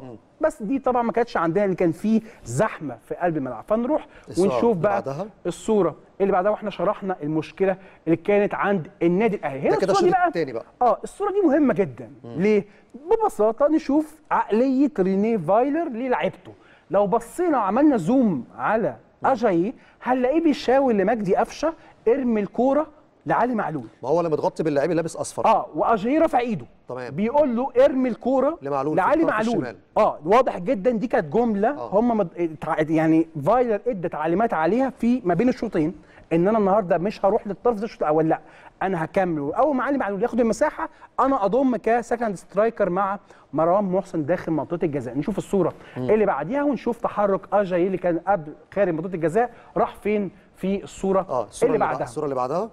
ببساطة معلول هنا اخترق علي استلم واخترق. بقى عنده هنا 3 اوبشنز داخل منطقة الجزاء أمر مختلف عن اللي إحنا شفناه في الشوط الأول اللي كان اللي أنت عملتها. برافو عليك اللي كان فيها مروان لوحده وبالتالي كان هنا نسبة واحد قدام أربعة هنا أنا عندي ثلاث لعيبة آه قدام خمسه بس مفيش مشكلة عندي ثلاث لعيبة وبالتالي رفعت نسبة فرصتي في الحصول على الكرة العرضية وهنا يوضح لك إزاي المدير الفني شغال. تدخل نروح مش للصورة. قاعد متفرج يعني قاعد. شغال وشايف اللي حصل وبيغير شوط طبعا.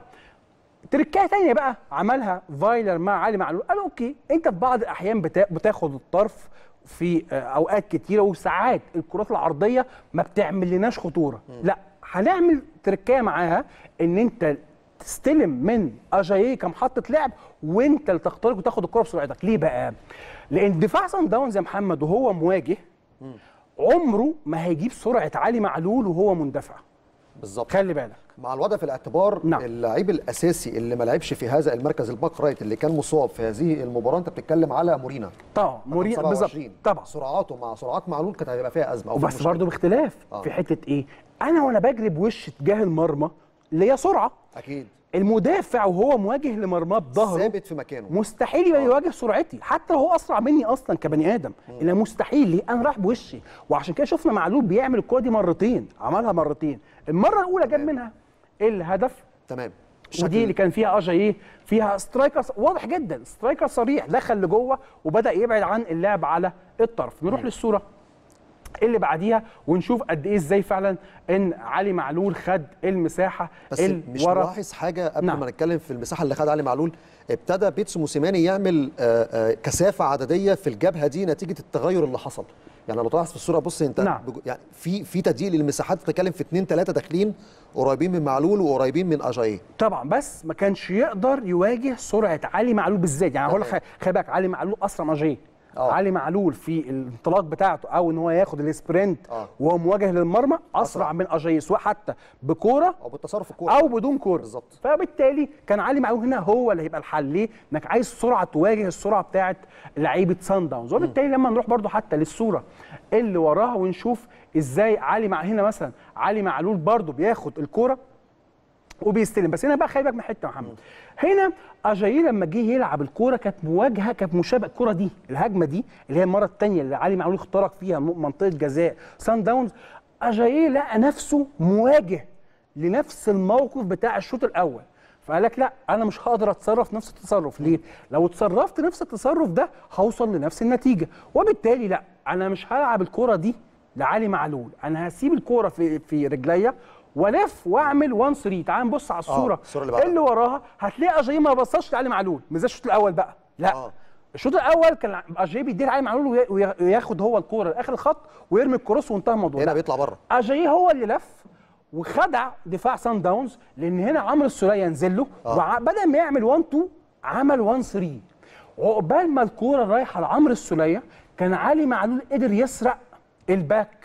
والضغط اللي كان معمول عليه على الطرف وخد نشوف بقى الصورة اللي. بعديها خد الكورة في المساحة بص هو الكورة رايحة للسولية والسولية بيديها لمعلول في المساحة اللي رايحه كل ده تعليمات. آه. كل ده تعليمات مدير فني. حتى إحنا في الهجمة دي قلنا لعلي معلول اركن الكورة. الكورة دي لما آه لما خدها كانت جاية على المينو برافو عليك. المفروض تروح في الزاوية البعيدة برافو عليك. رجلك. كان نفسنا إن علي. معلول يشوطها على طول هو بصاها لمروان هو محسن كان عايز مروان يجيب بالظبط. بس بخلاف الفرصة أنت ممكن كمتفرج تقعد آه. تتفرج على الفرصة بس وتزعق لعلي معلول. ليه ما شفتش؟ لكن الشغل ده- لا محتاجين نفهم إيه اللي حصل وتشوف تفكير اجاييه إزاي اختلف من 45 دقيقة أولى ل 45 دقيقة ثانية وعشان كده حتى بيتسو موسيماني لما اتسأل ما بعد المباراة مين الناس لفتت نظرك؟ قال لك اجاييه وعلي معلول عملوا فينا كل ما يعمل. فعلا.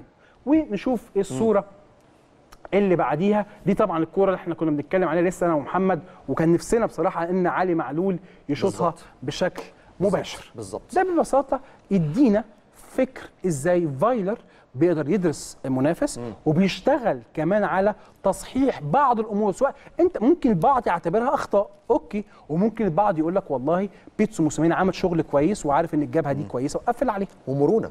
طبعا إن أنت طبعا. مش مدرب عندك تجمد في فكرة أفكارك أو آه، طرحك للتحليل أو الشكل اللي بتلعب بيه. طبعا. في مدربين عندهم إصرار على الشكل بيبدأ بيه وما بيغيرش عنده قناعات بده. لكن فايلر من المدربين اللي ما عندوش ال- الجمود لا دايما في الشوط الثاني بيغير أفكاره حتى لو شايف إن الأفكار دي مش هتجيب له أهداف سريعة فبيغير على طول. ويعرفك في كمان كمان. ويعرفك إن فايلر والجهاز الفني شافوا ماتش الخمسة صفر كتير. أكيد. لأن أنت ما بتتكلمش في بعض يعني لعيبة كتير اختلف من صن داونز لا معظم اللعيبة موجودة وبالتالي أسلوب اللعب هو أكبر. بيتسو موسيماني إن هو يلعب بالأسلوب اللي هو عايزه. خاصة كمان بيتسو موسيماني في المؤتمر الصحفي رد في مرة على سؤال ويمكن السؤال ده أنا حبيت أفهم منه ليه المرة دي ما كانش بيطور من أداء فرقته أو ليه شغال بنفس ال style القديم. نعم. وكان إجابته كانت غريبة لأن هو ساعتها لما اتسأل في فكرة ليه بتلعب بنفس طريقة اللعب بتاعت الموسم الماضي في ظل إن الأهلي حصل فيه بعض التغييرات يكفي حتى تغيير الجهاز الفني فبالتالي عندك نعم. فكر جديد قدامك. طبعا. فقال لك لا ما فيش فريق في العالم بيغير طريقة اللعب. كله طريقة اللعب بتاعته ثابتة. برشلونة طريقته اللعب ثابتة. أنا طريقة اللعب ثابتة. حتى الأهلي ما غيرش طريقة اللعب. ببساطة إحنا يعني okay التصريح على عيني وعلى راسي وهو تصريح دبلوماسي انه اعتقد يعني هو كان راجل ما عندوش مساحة إن هو يجاوب كتير يقول هو غلطت مثلاً. مستحيل آه. ربما كبرياءه يعني منعه ولكن ببساطة اللي يتفرج على 5-0 اللي يتفرج على صن داونز دول المجموعات مستحيل تطلع مباراة واحدة حتى اللي لعبوها قدام صن داونز قدام الوداد في المغرب 0-0 وساعتها بعد المباراة جمهور الوداد كله. هتف باسم موسيماني بسبب المباراة. جماهيري هناك عشان يمسك الوداد. مش بص المباراة دي صن داونز عمل مباراة حقيقي. يعني استحواذ على الوداد في قلب المغرب مش عارف كانت عاملة إزاي. اتلغى له هدف في الدقيقة الأولى في الدقيقة الأولى. لا وب... ماتش استحواذ. ناس. بتلعب تيكي تاكا في المغرب قدام تيكان. طبعا في ملعب هناك المركب الخامس. ملعب صعبة. صعب جدا بصراحة. وبالتالي انت ده أسلوب لعبك إنما أنت لازم تعترف إن رينيه فايلر أجبرك آه. إنك تلعب 4 4 2 اللي أنت ما بتلعبهاش في الدفاع أصلا إنك دايما صن داونز بيضغط بسبب إن أنت لعيبتك عندها لياقة بدنية عالية قوي وكمان أجبرك تلعب الكرات الطولية ممكن تكون 10 دقائق وربع ساعة بمزاجك إنما 90 دقيقة لا, لا،. آسف إن أنت تكون تقنعني ان انت قلت في اوضه اللبس يا جماعة إحنا هننزل قدام النادي الاهلي 90 دقيقة نلعب كرات طولية. ده مستحيل. الفرقتين من أكتر الفرقتين اللي في دور الثمانيه بيتميزوا بالاستحواذ. طبعا. وقلنا معركة الاستحواذ هتبقى كبيرة قوي في مباراة الذهاب. طبعا. بعد المباراة الاستحواذ اتجه في اي في أي من الفريقين؟ فماتش الماتش الذهاب ماتش الذهاب. خلينا طبعا نقول يعني إيه ندي مس- ببساطة الرقم عشان السادة المشاهدين يبقوا شايفين. من كان صن داونز وانت قلت فريق من الفرق اللي دايما بت- بتركز على الاستحواذ. استحواذ المباراة دي 65% من الاهلي 35% آه، صن داونز وخلينا أديك الرقم الأهم من رقم الاستحواذ هو آه. عدد التمريرات آه. النادي الأهلي أنت كنت وصلت في ل 600 النادي الأ... ده صن داونز فاكر؟ آه وهقول لك كمان رقمهم في ماتش 5-0 آه. بس فايلر من حقه يطلع في المؤتمر الصحفي يقول لك أنا ما بغيرش طريقة لعبي ليه؟ هات لي أي ماتش أنا لعبته هتلاقيني عملت فوق ال 500 pass تمام. وبالتالي ماتش صن داونز عملت 576 pass كام pass منهم بقى صحيح؟ يعني وصل من النسبة. لاعب للاعب 476 يعني أنا غلطت في 100 pass بس. آه. نسبة نجاحي كام قدام فريق زي صن داونز؟ بيلعب 4 4 2 في الدفاع 83% دقة خلاص. أنا كده تمام. دقة عالية. طيب نروح بقى لبيتسو موسيماني اللي هو أجاب على سؤال سعادتك في المؤتمر الصحفي وقال لك أنا ما غيرتش طريقه لعب. لا سعادتك غيرت طريقه لعبك. هو كان سؤال بس عشان أفهم فلسفته. نعم. هل عنده حلول ولا لا؟ لا طبعا. تعالى ببساطة نقول ال total passes اللي عملها ال- ال- العدد الإجمالي التمريرات لصن داونز في المباراة كام؟ 321 ده النص. النص. أجدت فيهم كام؟ يعني وصلت الكورة من لعيب للعيب. 225 يعني نسبتهم كام؟ 70% يعني انت خسرت ما لا يقل عن 15% نجاح انت أكيد بتبقى زي النادي الاهلي آه. فوق ال 80% انت وصلت ل 70% وبالتالي ده بيؤكد نجاح أسلوب رينيه فايلر في التعامل مع المباراة. تعال نعمل فلاش باك كده لخناقة ما كانتش خناقة بس مواجهة موسيماني مع مارتن لاسارتي في. ماتش الخمسة صفر. ماتش الخمسة صفر عملوا علينا كام تمريرة؟ 617 بنسبة نجاح كام؟ تخيل الرقم كانت معدية- 550 كانت معدية يعني ال 89 آه. 89% من باصات سان داونز في ماتش 5 0 One side كانت game. ناجحة. تمام؟ النادي الأهلي كان ساعتها عمل كام؟ عمل 334 كام ناجحة منهم؟ 255 بنسبة نجاح 76% فده ببساطة شغل جهاز فني. زي بالظبط كده يكون عندك ابنك. كان في سنة معينة مع مدرس شغال معاه بأسلوب معين. جاب نتيجة معينة غيرت انت المدير الفني وغيرت المدرس وغيرت الظروف. عشان برضه أكون- أكون أمين في وغيرت كلامي. الظروف. الخمسة صفر دايما أنا قلت ما كانتش لاسارتي بس لا كان في أمور بره الملعب إحنا دفعنا ثمنها غالي. وأعتقد إن شاء الله بإذن الله ماتش الإياب هنمحي فيه الصورة اللي كانت مترسخة في أذهاننا من ماتش السنة اللي فاتت. طيب انقل بقى الحديث لمباراة الإياب ومباراه العودة وأكيد كل اللي بيتفرجوا علينا عايزين يشوفوا طبعا. الصورة. ممكن يبقى المشهد إزاي على مسرح نعم. الأحداث مسرح ملعب لوكاس موريبي طيب ممكن أقول جملة أنا نفسي طول عمري أقولها. نفسك؟ المشا- آه نفسي بصراحه. جات لي فرصة النهارده. إن أنا أقولها. طيب إيه الفرق يا جماعة؟ طبعا عارف السؤال دايما اللي بيتسأل للي بيحبوا التحليل. الماتش الجاي إيه الطريقة الانسب لينا؟ نواجههم إزاي؟ ممكن نكسب إزاي؟ طب نحافظ على 2-0 إزاي؟ أنا ببساطة عايز أفرق ما بين دور المحلل ودور المدير الفني. تمام. ببساطة.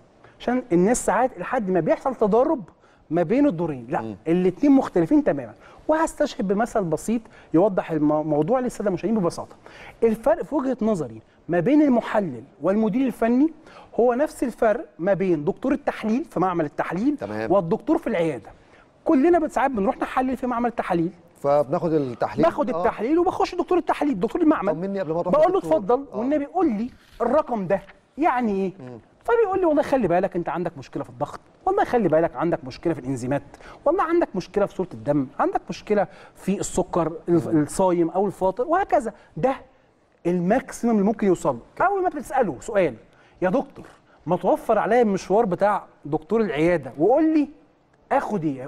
stop يقول لك ما لا. ماليش دعوة آه أنا ماليش دعوة خد حاجتك وارجع للدكتور هتلاقيك آه تحت في التحاليل بيكتب لك هو الإيه ال result أو الإيه السمري يعني ملخص التحاليل ملخص دي التحليل. هو هيقول لك إيه المشكلة اللي عندك وهيكتب لك الدواء بناء على الحالة النتيجة. بتاعتك فإحنا هنا كل يوم خميس يا جماعة هنقدم لكم ما يشبه اللي بيعمله دكتور معمل التحليل هايل. مش هندي حلول إحنا ببساطة لو أنا أقدر أدي حلول كنت ببساطة رحت اشتغلت مدير فني وخدت المرتب بتاع المدير الفني مثلا يعني. مثلاً- لا مثلاً. فهي ببساطة إحنا بنحاول بس نوضح لكم المشهد.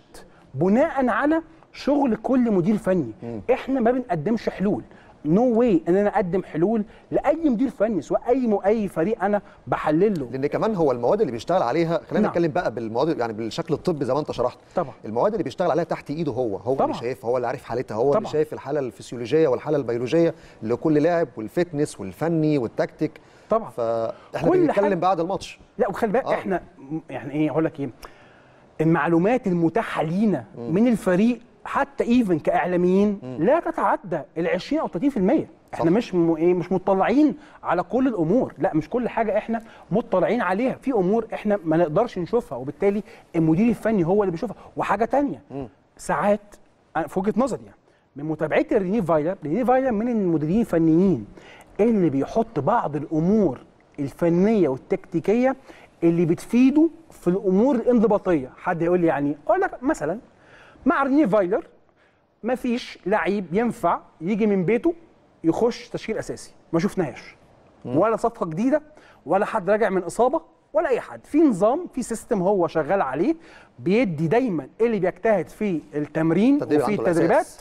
إن أنت دايما بتأدي بشكل كويس أنت أساسي آه في rotation بس ال rotation مبني على المنافس مش مبني على الإجهاد خالص عند مش مبني. على الإجهاد. لا طبعا آه. rotation فايلر مش مبني على الإجهاد على فكرة أنت أول واحد تصف ال rotation اللي بيحصل جوه ال team نعم. بالمفهوم العلمي اللي أنت قلته ده على فكرة نعم. لأن دايما كلمة ال rotation مرتبطة بكلمة الاجهاد طبعا. لكن rotation مرتبط بتحليل الفريق المنافس دي أول مرة حد يشرحها بالشكل العلمي ده للناس. وفايلر أقنعنا بيه إن فايلر في آه. بدايته مع النادي الأهلي غير كل مباراة كان أعتقد التغييرات بتوصل لأربعة وخمس لعيبة. وحتى كان في حتى في التوظيف في توظيف اللعيبة. وشفنا إحنا مع مع فايلر اوعى مثلا أنت ك winger هجومي تقول أنا بلعب يمين بس شكرا. ليه لو أنت رحت قلتها له مش هتلعب. ريني فايلر دايما بيعمل shifting بيعمل تغيير للاثنين وينجات طول المباراة. فما ينفعش تيجي تقول والله خلي بالك أنا عدلتي على اليمين ما برتاحش نفسيا على الشمال. لا ما ينفعش. حتى لو طلب منك تلعب مهاجم زي ما حد شفناها مع كهربا في الهلال السوداني بتنفذ. وهنا ده بيوريك إزاي محمود متولي العب half defender حاضر. النهارده أنت بتلعب وقت طويل مع رامي ربيعه وببدل بثبت رامي وببدل ياسر وببدل محمود متولي النهارده ماتش بهذه القوة وبهذه الخطورة هنلعب بثنائية ياسر ومحمود متولي عشان خاطر السرعات. حاضر.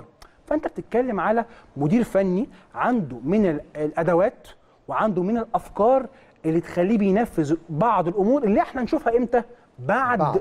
ما نشوف الماتش. ما نقدرش المحلل يا جماعة مش دجال. ما ينفع ما ينفعش محلل يتوقع. المحلل بالظبط زي دكتور التحليل. ده أعلى مثال أنا دايما بقوله لنفسي. أشوف تحاليل بتاعتك وأبدأ أقول لك. أقول لك. لكن ما ينفعش حد وأنت داخل مثلا معمل مثلا قبل ما الراجل ياخد منك العينه تخش للدكتور تقول له ممكن بعد إذنك لما تشوفني كده تقول لي أنا هيطلع السكر عندي عالي ولا لأ؟ مستحيل. فاعمل تحليل. الأول نشوف المباراة وبعد ما نشوف المباراة نبدا نشوف الأدوات والحاجات أرقام قدامنا ونبدأ نحلل. طب أنت حطيت العنوان اللي هنتكلم عليه نعم. أو هنتكلم عن تفصيلته في ال- الجزء اللي جاي. نعم. مباراة العودة مباراة الإياب ال- الفلسفة طريقة اللعب مشهد ماتش الذهاب. أي. المشاهد دي إزاي تترجمها بقى بشكل مباراه العوده شوف بسم الله الرحمن الرحيم كده بعد نهاية المباراة لو كنا عملنا استفتاء ما بين آه كل جماهير النادي الأهلي وسألتهم إيه أحلى طريقة تلعب بيها في بريتوريا؟ كله كده بلا نقاش. يعني اللي عارف اللي هو إيه؟ الغالبية العظمى الكاسحة. كلها هتقول لك شكرا شيل مجدي قفشة ونزل لنا لعيب half defender ثالث وشيل أتر- علي معلول أترجم لك اللي اتقال. يعني مثلا حط رامي ربيعة جنب نعم. ياسر إبراهيم وخلي أيوة. محمود متولي نص ملعب مثلا. شيل علي معلول وحط حط إيمن أشرف ودافع آه. ونقدر نقفل عليهم المساحات هناك 90 مليون ونعمل ال zone defense ونعمل ال zone defense وإيه ونلعب بنفس الطريقة لحد ما كان ساعات مانويل كان بيعمل جوزيه طبعا في الفترة اللي إيه اكتسح فيها أفريقيا, أفريقيا. أربع سنين حتى بالموسم اللي النادي الأهلي. خد فيها آه، آه. المركز الثاني بعد النجم الساحلي بس كان النادي الأهلي كان مسيطر كان جوزيه حاطط فلسفة وهي إن أنا النهارده يا جماعة لو بعد الماتشات مع قرابة كده هروح بره الأرض أتخلى عن ال playmaker وألعب بحد كان يلعب بابو تريكة وبركات تحت متعب ويطير هم دول الثلاثه الهجوميين والباقي. كله مأمن ورا في خط الوسط. عشان أحمي نص ملعبي هي فكرة. بس إحنا كمحللين هنيجي نسأل نفسنا سؤال. هل ريني فايلر قال لنا في أي من الماتشات الخارجية إنه بيتخلى عن ال play maker الإجابة هتكون لأ. تمام. وهدي مثل بسيط عليها. ماتش النجم الساحلي. مطرود مننا أيمن أشرف في الدقيقة 11 صح؟ مظبوط. وبنلعب في رادس وفي تونس ومباراة صعبة جدا. وأول مباراة خارجية ليه في دور مباراة المجموعات بالظبط ومباراة صعبة قوي يعني كل يعني. حاجة يعني. والراجل ما تخلاش عن مفهوم الهجوم. قال لا أنا برضه هفضل مكمل بالأسلوب بتاعي كل اللي هعمله بس إن أنا هغير تغييره عشان أنزل مساك يلعب. وأحمد فتحي نزل ساعتها لو تفتكر ك ولعب بحتة عضلة كمساك. لكن التفكير بتاعي أو السيستم بتاعي مش هيتغير. ويا سبحان الله رغم النقص العددي ورغم حتى الهدف اللي جه في مرمى النادي الأهلي الاستحواذ كان مع النادي الأهلي. النادي الأهلي كان هو المسيطر. وساعتها أفتكر جاريدو فضل حتى بعد الطرد سايب طريقته اللي كان بيلعب بيها بخمسة. في الدفاع وجاب وجدي ساعتها جاب وجدي كشريدة من بيتهم كان مصاب وجدي. مظبوط. جابوا من بيتهم جابوا الماتش ده عشان كان. عارف. آه بالظبط. عشان يلعب بيه. وما. تخلاش خالص عن الخماسي الدفاعي. فدي فلسفة ريني فايلر. فهنا أنا أقدر أقول لك لا ربما ريني فايلر ما يبقاش من مدير فني اللي بيغير الفكرة بتاعته. وهنا ممكن برضو أخدك لنقطه مهمة. بالشكل اللي شفت عليه سان داونز الفرقة دي فعلا من الخطر من الخطر أيوة. إنك تسيبهم يحضروا. يحضروا. طبعا. من الخطر إنهم لعيبة كورة. بس معنى كلامك مع يعني سوري للمقاطعة. طبعا. آه، تسيبهم يحضروا يعني أنت عايز تعمل آه، ضغط. ضغط عالي. ضغط عالي. بس الضغط العالي ممكن يعمل مساحات. صح. وممكن يعمل آه، فقدان لياقة بدنية في الشوط الثاني عشان الأكسجين. عشان الأكسجين. بس خليني برضو آخدك لحتة معينة. ماتش الهلال السوداني النادي الأهلي كلنا توقع المباراه دي طبعا كانت مباراة صعبة جدا. وكان وكان في بصراحة شحن فيها قبليها وكان يعني كان في بعض المشاكل. آه الأجواء ما كانتش ظريفة. وقلنا ربما رينيفا يبقى حذر بعض الأمر شوية في المباراة دي. من الدقيقة الأولى شفنا النادي الأهلي نازل واخد المبادرة. ضغط عالي. امنع الهلال إنه يبني الهجمة. تمام. إحنا رايحين نكسب. مفيش. وبالتالي خلي بالك الهلال السوداني ما كانش عنده نفس اللعيبة المهارية زي سان داونز سان داونز بالظبط. خوفي من سان داونز يا محمد في حتة إنك لو سبت لعيب الكورة عنده المساحه إنه يلعب كورة. يستلم. طبعا. ده خطر. خطر جدا. ليه؟ ال zone defense هو حل ذو يعني إيه؟ يعني طريقة ذو حلين آه. أمر ذو حلين ممكن فعلا تزهقه بإنك تركز بس في نص ملعبك وتبدأ تحتفظ بلياقتك ليه ما الدقائق. الأخيرة في الشوط الثاني خصوصا طبعا إحنا قلنا الخميس اللي فات إن بريتوريا عالية عن سطح البحر مظبوط. تاني بريتوريا يا جماعة عشان اللي ما شافش حلقة الأسبوع اللي فات بريتوريا أعلى من سطح البحر 4700 قدم هنا وبالتالي الشخص المصري اللي بيطلع من مصر يروح بريتوريا لازم يحصل له مشكلة في التنفس. لو انت النهارده حتى انسان طبيعي ليه؟ هنا القاهرة إحنا عايشين على 75 قدم بس. حط كده 75 قدم في كفة و4700 فبالتالالي بيحصل لك نقص في الأكسجين. ده لحد ما. ساعات بيتحل بيه الأقراص ساعات بيتحل إنك تسافر قبليها بفترة. آه بالظبط. وده اللي حصل. عشان الرئة تتعود على الأجواء. تتعود على الأجواء. وبالتالي أكيد دي نقطة في الاعتبار. ولكن فنيا أنا من الناس اللي أبدأ أشوف لا مهم جدا إن إحنا في بعض الأحيان أكيد أنت في الجو ده مش هتضغط 90 دقيقة مستحيل. لكن في بعض الأحيان حاول إن أنت تمنع سان داونز من بنى اللعب ما تخليش لعيبة الكورة يمسكوا الكورة كتير. ليه؟ كيكانا وهو بيتصرف بالكورة قدام منطقة جزائه حاجة وهو بيعدي بيها لنص ملعبك حاجة تانية حاجة تانية. لو ال through pass أو ال through lob اتلعب من عند منطقة جزائهم حاجة ولو اتلعب من عند خط التم... النص. النص حاجة تانية ال- الإجادة بتاعته ال efficiency بتاعته الإجادة إن هو يجيدها من نص الملعب أقوى. أكيد أقوى وأحسن أقوى وأفضل. عشان ألعب آه، يعني كورة طولية من منطقة الجزاء لغاية ما ما يقرب منطقة الجزاء أكيد الدفاع الاهلي هيبقى متقدم على منطقة الجزاء أكيد هيبقى أصعب من إن أنا ألعبها من عند نص الملعب كل ما مسافة ال over أو الكورة بتطول كل طبعا. ما يكون دقة الكورة توصل للناحية الهجومية أقل طبعا آه. أكيد أكيد اللاعب المهاري وهنا أعتقد إن بيتسو موسيماني هيكمل بنقطة إن زواني يبقى الثالث بتاع نص الملعب هيكملها الثالث آه طبعا آه. آه. مهم زي ما عمل في ماتش الذهاب. زواني ما كانش طرف زواني كان هو اللاعب اللي بينزل آه كان هو. وسايب بقى فيلكازي وسايب سيرينو. سيرينو وسا... وطبعا هم دول كانوا بي- على حد ما. بيتقدموا وموباي طبعا هم دول بيتقدموا كتير لمنطقه محمد الشناوي. طيب التشكيل اللي بدأ بيه سان داونز مباراة الذهاب. نعم. ممكن نفس التشكيل ولا ممكن يحصل تغيير واحد في التشكيل؟ شوف طبعا هو أنا أعتقد الفكر الهجومي بتاعه هيختلف مش- مش عارف بصراحة ال back اليمين هيرجع له ولا لا المباراة ده؟ ست شهور. ok- مورينا ده ال back. ما. كانش على ال winger. آه. أعتقد مورينا كان هو ال winger اللي اتصاب. آه مورينا ال back right. okay. رقم 27 okay ده الست شهور. أنت بتتكلم في هم عندهم انت تقصد. اللي هو آه، ألفونسو؟ آه هم عندهم آه بالظبط. كان في ألفونسو ثلاث شهور. آه، وست شهور. بالظبط. okay.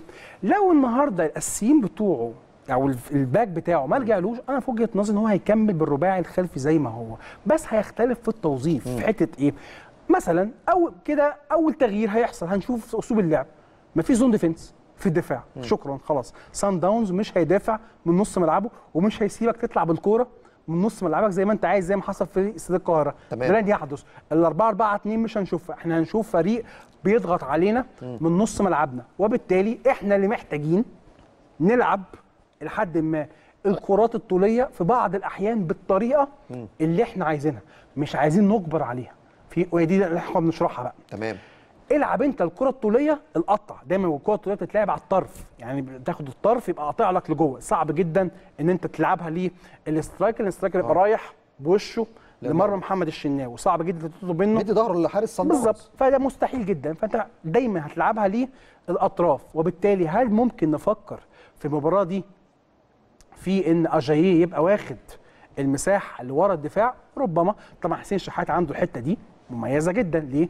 لعيب سريع. بس مش عارف لسه موضوع الإصابة بعض الأخبار اللي قالت على إصابة حسين شحات هيبقى أساسي ولا لأ. بس إحنا بنتكلم إن إحنا محتاجين نقلب موضوع السرعات لينا إحنا. خلي عنصر مفاجأة كده للماتش. نعم. خلي عنصر مفاجأة مثلاً. للماتش.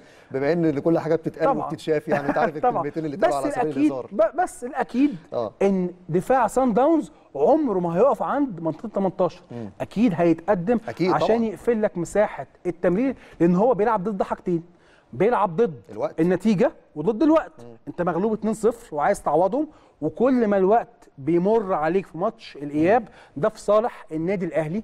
مش في صالحك. فانت عايز تزود من عملية استعادة الكره وعايز تقلل من زمن هجمة النادي الأهلي. النادي الأهلي مثلا لو هج- الهجمة بتاعتنا وصلت لدقيقة وطبعا ده زمن طويل جدا هنبقى فرحانين. شكرا. أنا كل ما الكره في رجليا أنا ضامن إن أنا لسه محافظ على نتيجة ماتش الذهاب. وبالتالي هيبقى في اختلاف في الأدوار. بس اللي أتمناه فعلا إن إحنا نلعب بال system بتاع أنا رايح أجيب جول. رايح أجيب جول آه وهدي مثل هنا. في 2008 2008 ماتش مين؟ النادي الأهلي كان بيلعب أسك جان semi آه. final الموسم التالي للموسم بتاع 2007 لما خسرنا في final النجم الساحلي. وطبعا كابتن سامي الشاطر يعني لما سمعنا كان واحد من نجوم مباراة الإياب في أبيجان. وأبيجان برضه نفس المشكلة بتاع بريتوريا. في موضوع الأكسجين. الماتش اتلعب في رمضان؟ في رمضان أعتقد في رمضان آه. صح؟ آه. ده اتعمل فيه مجهود بدني وجري غير طبيعي. الشوط الأول آه. أول نص ساعة إحنا كنا كسبانين هنا في مصر 2-0 بنفس الظروف بالظبط. خلص تعادل أعتقد. لا لا جاي لا لا مش تعادل خسرنا 2-1 بس تعالى 2-1. أقول لك الس... آه خسرنا 2-1 بس أقول لك السيناريو جوزيه اللي رسمه إزاي. راح لعب بالثلاثه خط وسط وحط ساعتها فلافيو بس لوحده. هو سترايكر صريح. ونزل أول نص ساعة بضغط عالي. بضغط عالي أول نص ساعة. هو كان عارف طبعا إن أبيجان من الأكسجين والمشكلة دي فأنا بز... يعني أحاول أستخدم الباور بتاع لعيبتي في بداية المباراة. تمام. النادي الأهلي في أول نص ساعة محمد ضيعنا انفرادين وفلافيو جاب جول. ال head كرة اتلعبت له عرضية آه. وحطها في الجون بال head. تمام. وخلصنا الشوط الأول 1-0 بس الشوط الثاني كنا مقتولين. صح. كنا. هو ده بقى الجزء اللي بقول لك عليه. ممكن تعمل ضغط نعم. امامي جيد جدا وتكسب وتكسب وتجيب ما هي. لعبة قمار لكن الناحيه البدنيه ما هي لعبة قمار آه. أنا جبت جون مع 2-0 في ارضي يبقى كده المنافس عايز كام؟ محتاج أربعة. عايز أربعة. اسك نزل الشوط التاني مش عايز أقول لك ما خليناش نطلع من نص لا ملعبنا الماتش كنا تعبانين جدا. الجو كان صعب. وجابوا فينا جونين أعتقد في 10 دقايق وساعتها خفنا قوي إن الجونين جم بسرعة وكنا ممكن نتفك. بس جوزيه بقى عمل اللي أنت عايزه في الآخر في آخر 20 دقيقة. اللي هو؟ عمل الزون ديفense وقف وما هاجمش. وما هاجمش. وحافظ على الاثنين واحد وصعدنا. بس برضو اللي هقوله إن ال quality بتاع اللعيبة والظروف ساعتها كلها مختلفة عن بتكلم ك squad كقايمة. لأن يعني كده برضه ساعتها لعيبه النادي الاهلي خبرة أفريقية بصراحة فظيعة. أحد اللعيبة نعم. وقتها أنا سألته على الشوط الثاني إيه اللي حصل. نعم. قال لك إحنا كنا بنلعب الشوط الأول فريق أسد. الشوط أيوة. الثاني مش عارف إيه اللي جاب التتار. بالظبط. أيوه طبعا. وصفها بنفس أيوة. المعنى كده. المجهود البدني كان صعب جدا. بس هي الفكرة في لعبة القمار. أنا رايح بفكر إن أنا أول 45 دقيقة بصوا يا جماعة مش هتعدي غير لما أجيب جون. حتى هو لو جاب فيها جون مش مهم. بس المهم إن أنا أحطه تحت ضغط ال 4 0 وبالتالي أنا كل اللي عايزه إن أنا أحاول أهدد مرمى المنافس بالثلاث أربع هجمات وأركز فيهم. تمام. لو ركزت أكيد في واحدة طيب. هتلطش معايا. في تغيير حصل بالنسبة لفريق سان داونز في مباراة الذهاب. نعم. أكيد ممكن يكون له علاقة بماتش العودة. أيوة. لما استبدل ليبوسا ونزل لانجرمان. طيب. لانجرمان طبعا إحنا عارفين هو أصلا باك الشمال. بالظبط. وكان قاعد طبعا على الدكة ونزله في نهاية المباراة عشان يأمن. إن كان موسيماني كان عايز إيه الماتش يا محمد خلي بالك. ذكي جدا. ربما الناس ممكن تقول لك يا عم موسيماني أنت راجل مغلوب 2-0 وباقي 10 دقايق ما تخطف لك جول قال لك لا. الصح الصح في ظل الظروف اللي أنا شايفها دي وخلي بالك سان داونز فعلا في نهاية المباراة تعب. آه آه تعبوا. بدنيا أنهكوا. تعبوا مع النادي الأهلي فعلا. عشان كده كمان. نزل باكاماني للسرعة عشان على الأقل نص الملعب بتاعنا حد منهم يرجع. هو لعبها هو لعبها برضه. سرعات باكمان. هو لعب على باكمان إن هو النهارده يخطف واحدة. يخطف ويجري وكان فعلا آه. في واحد كان هيخطفها بس ليه فعلا هو نازل لانجرمان؟ اللي هو كان فعلا عايز يحافظ إن الجون الثالث ما يجيش, ما يجيش. الجون الثالث لو كان جه كان هتبقى فعلا نسبة عودته في ماتش العودة صعب قوي صعب جدا إن أنت ترجع. يعني النادي الأهلي رايح لك وكسبان 3-0 الأمانة صعب عشان كده فاكر فاتت لما قلنا أيوة. مباراة الذهاب هنا ومباراة العودة هناك نعم. هتغير فلسفته. طبعا هو كان دايما بيبني تاريخه كله في الآخر أربع خمس بطولات تحديدا من 2016 لغاية 2020 نعم. على إن هو بيقدر يعمل على ملعبه السكور اللي يضمن له التأهل للمرحلة الثانية نعم. مع الوداد لما بدأ المباراة الأولى في مركب محمد الخامس خسر على ملعبه في بريتوريا لما لاعب الزمالك في البداية وكسب ثلاثة قدر يكسب البطولة لما لعب الأهلي في الأول وكسب قدر يكسب البطولة مع الوداد ما عرفش مع. مازيمبي قبل كده ما. عرفش مع الترجي قبل كده ما عرفش. صح. وخليني برضو أستدل من النقطة دي نقطة مهمة قوي. أستدلها من ماتش الترجي والزمالك. آه. وفعلا ذكاء كارتيرون لما كانت النتيجه 2-1 و- وعدم ذكاء من معين الشعباني إنك في نهاية المباراة وأنت مغلوب 2-1 كارتيرون فعلا كان بيلعب على الجون الثالث أنا عايزه. بأي طريقة كان. أكيد. ودخل كل اللعيبة الحريفة خش وغلطوا مدافعين الترجي.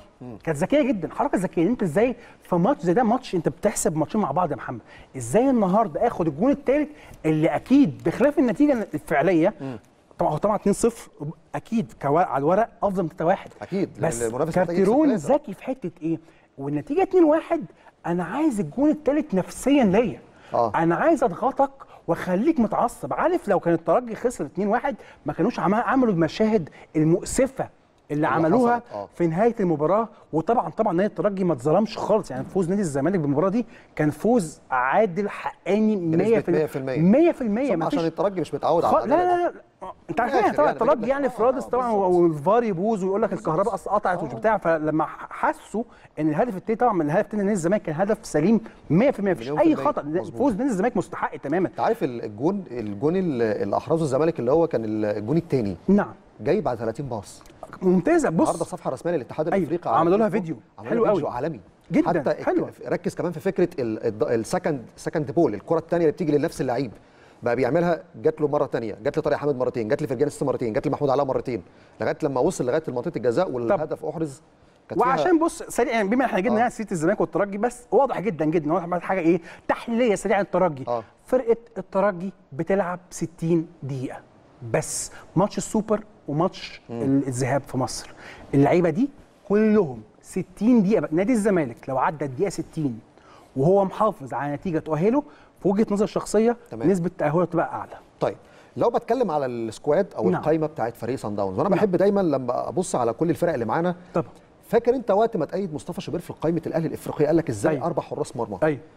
أنتوا عارفين يا جماعة إن فرقة سان داونز في قائمتها فيها أربع حراس مرمى؟ مش مفاجأة على فكرة. طيب باقي الفرق لو بصيت على قائمة الرجاء المغربي هتلاقي أربع حراس مرمى فبالتالي أحيانا على مدار الموسم بتحصل معاك بعض الظروف فبالتالي بتبقى مجبر على ده طب أنت عارف البديل بتاع أونيانجو حارس مرمى نعم. سان داونز حارس مرمى منتخب مازيمبي نعم كينيدي مويبا بص بما إنك فتحت الموضوع ده خلينا نتفق يا محمد إن أي خبر آه. آه. رياضي في قائمة أو خبر إداري آه. أو انضباطي معرض على معرض للتقييم على ال social media. النهارده الناس كلها بتقيم أي نوع من الأخبار بيتم تقييمه.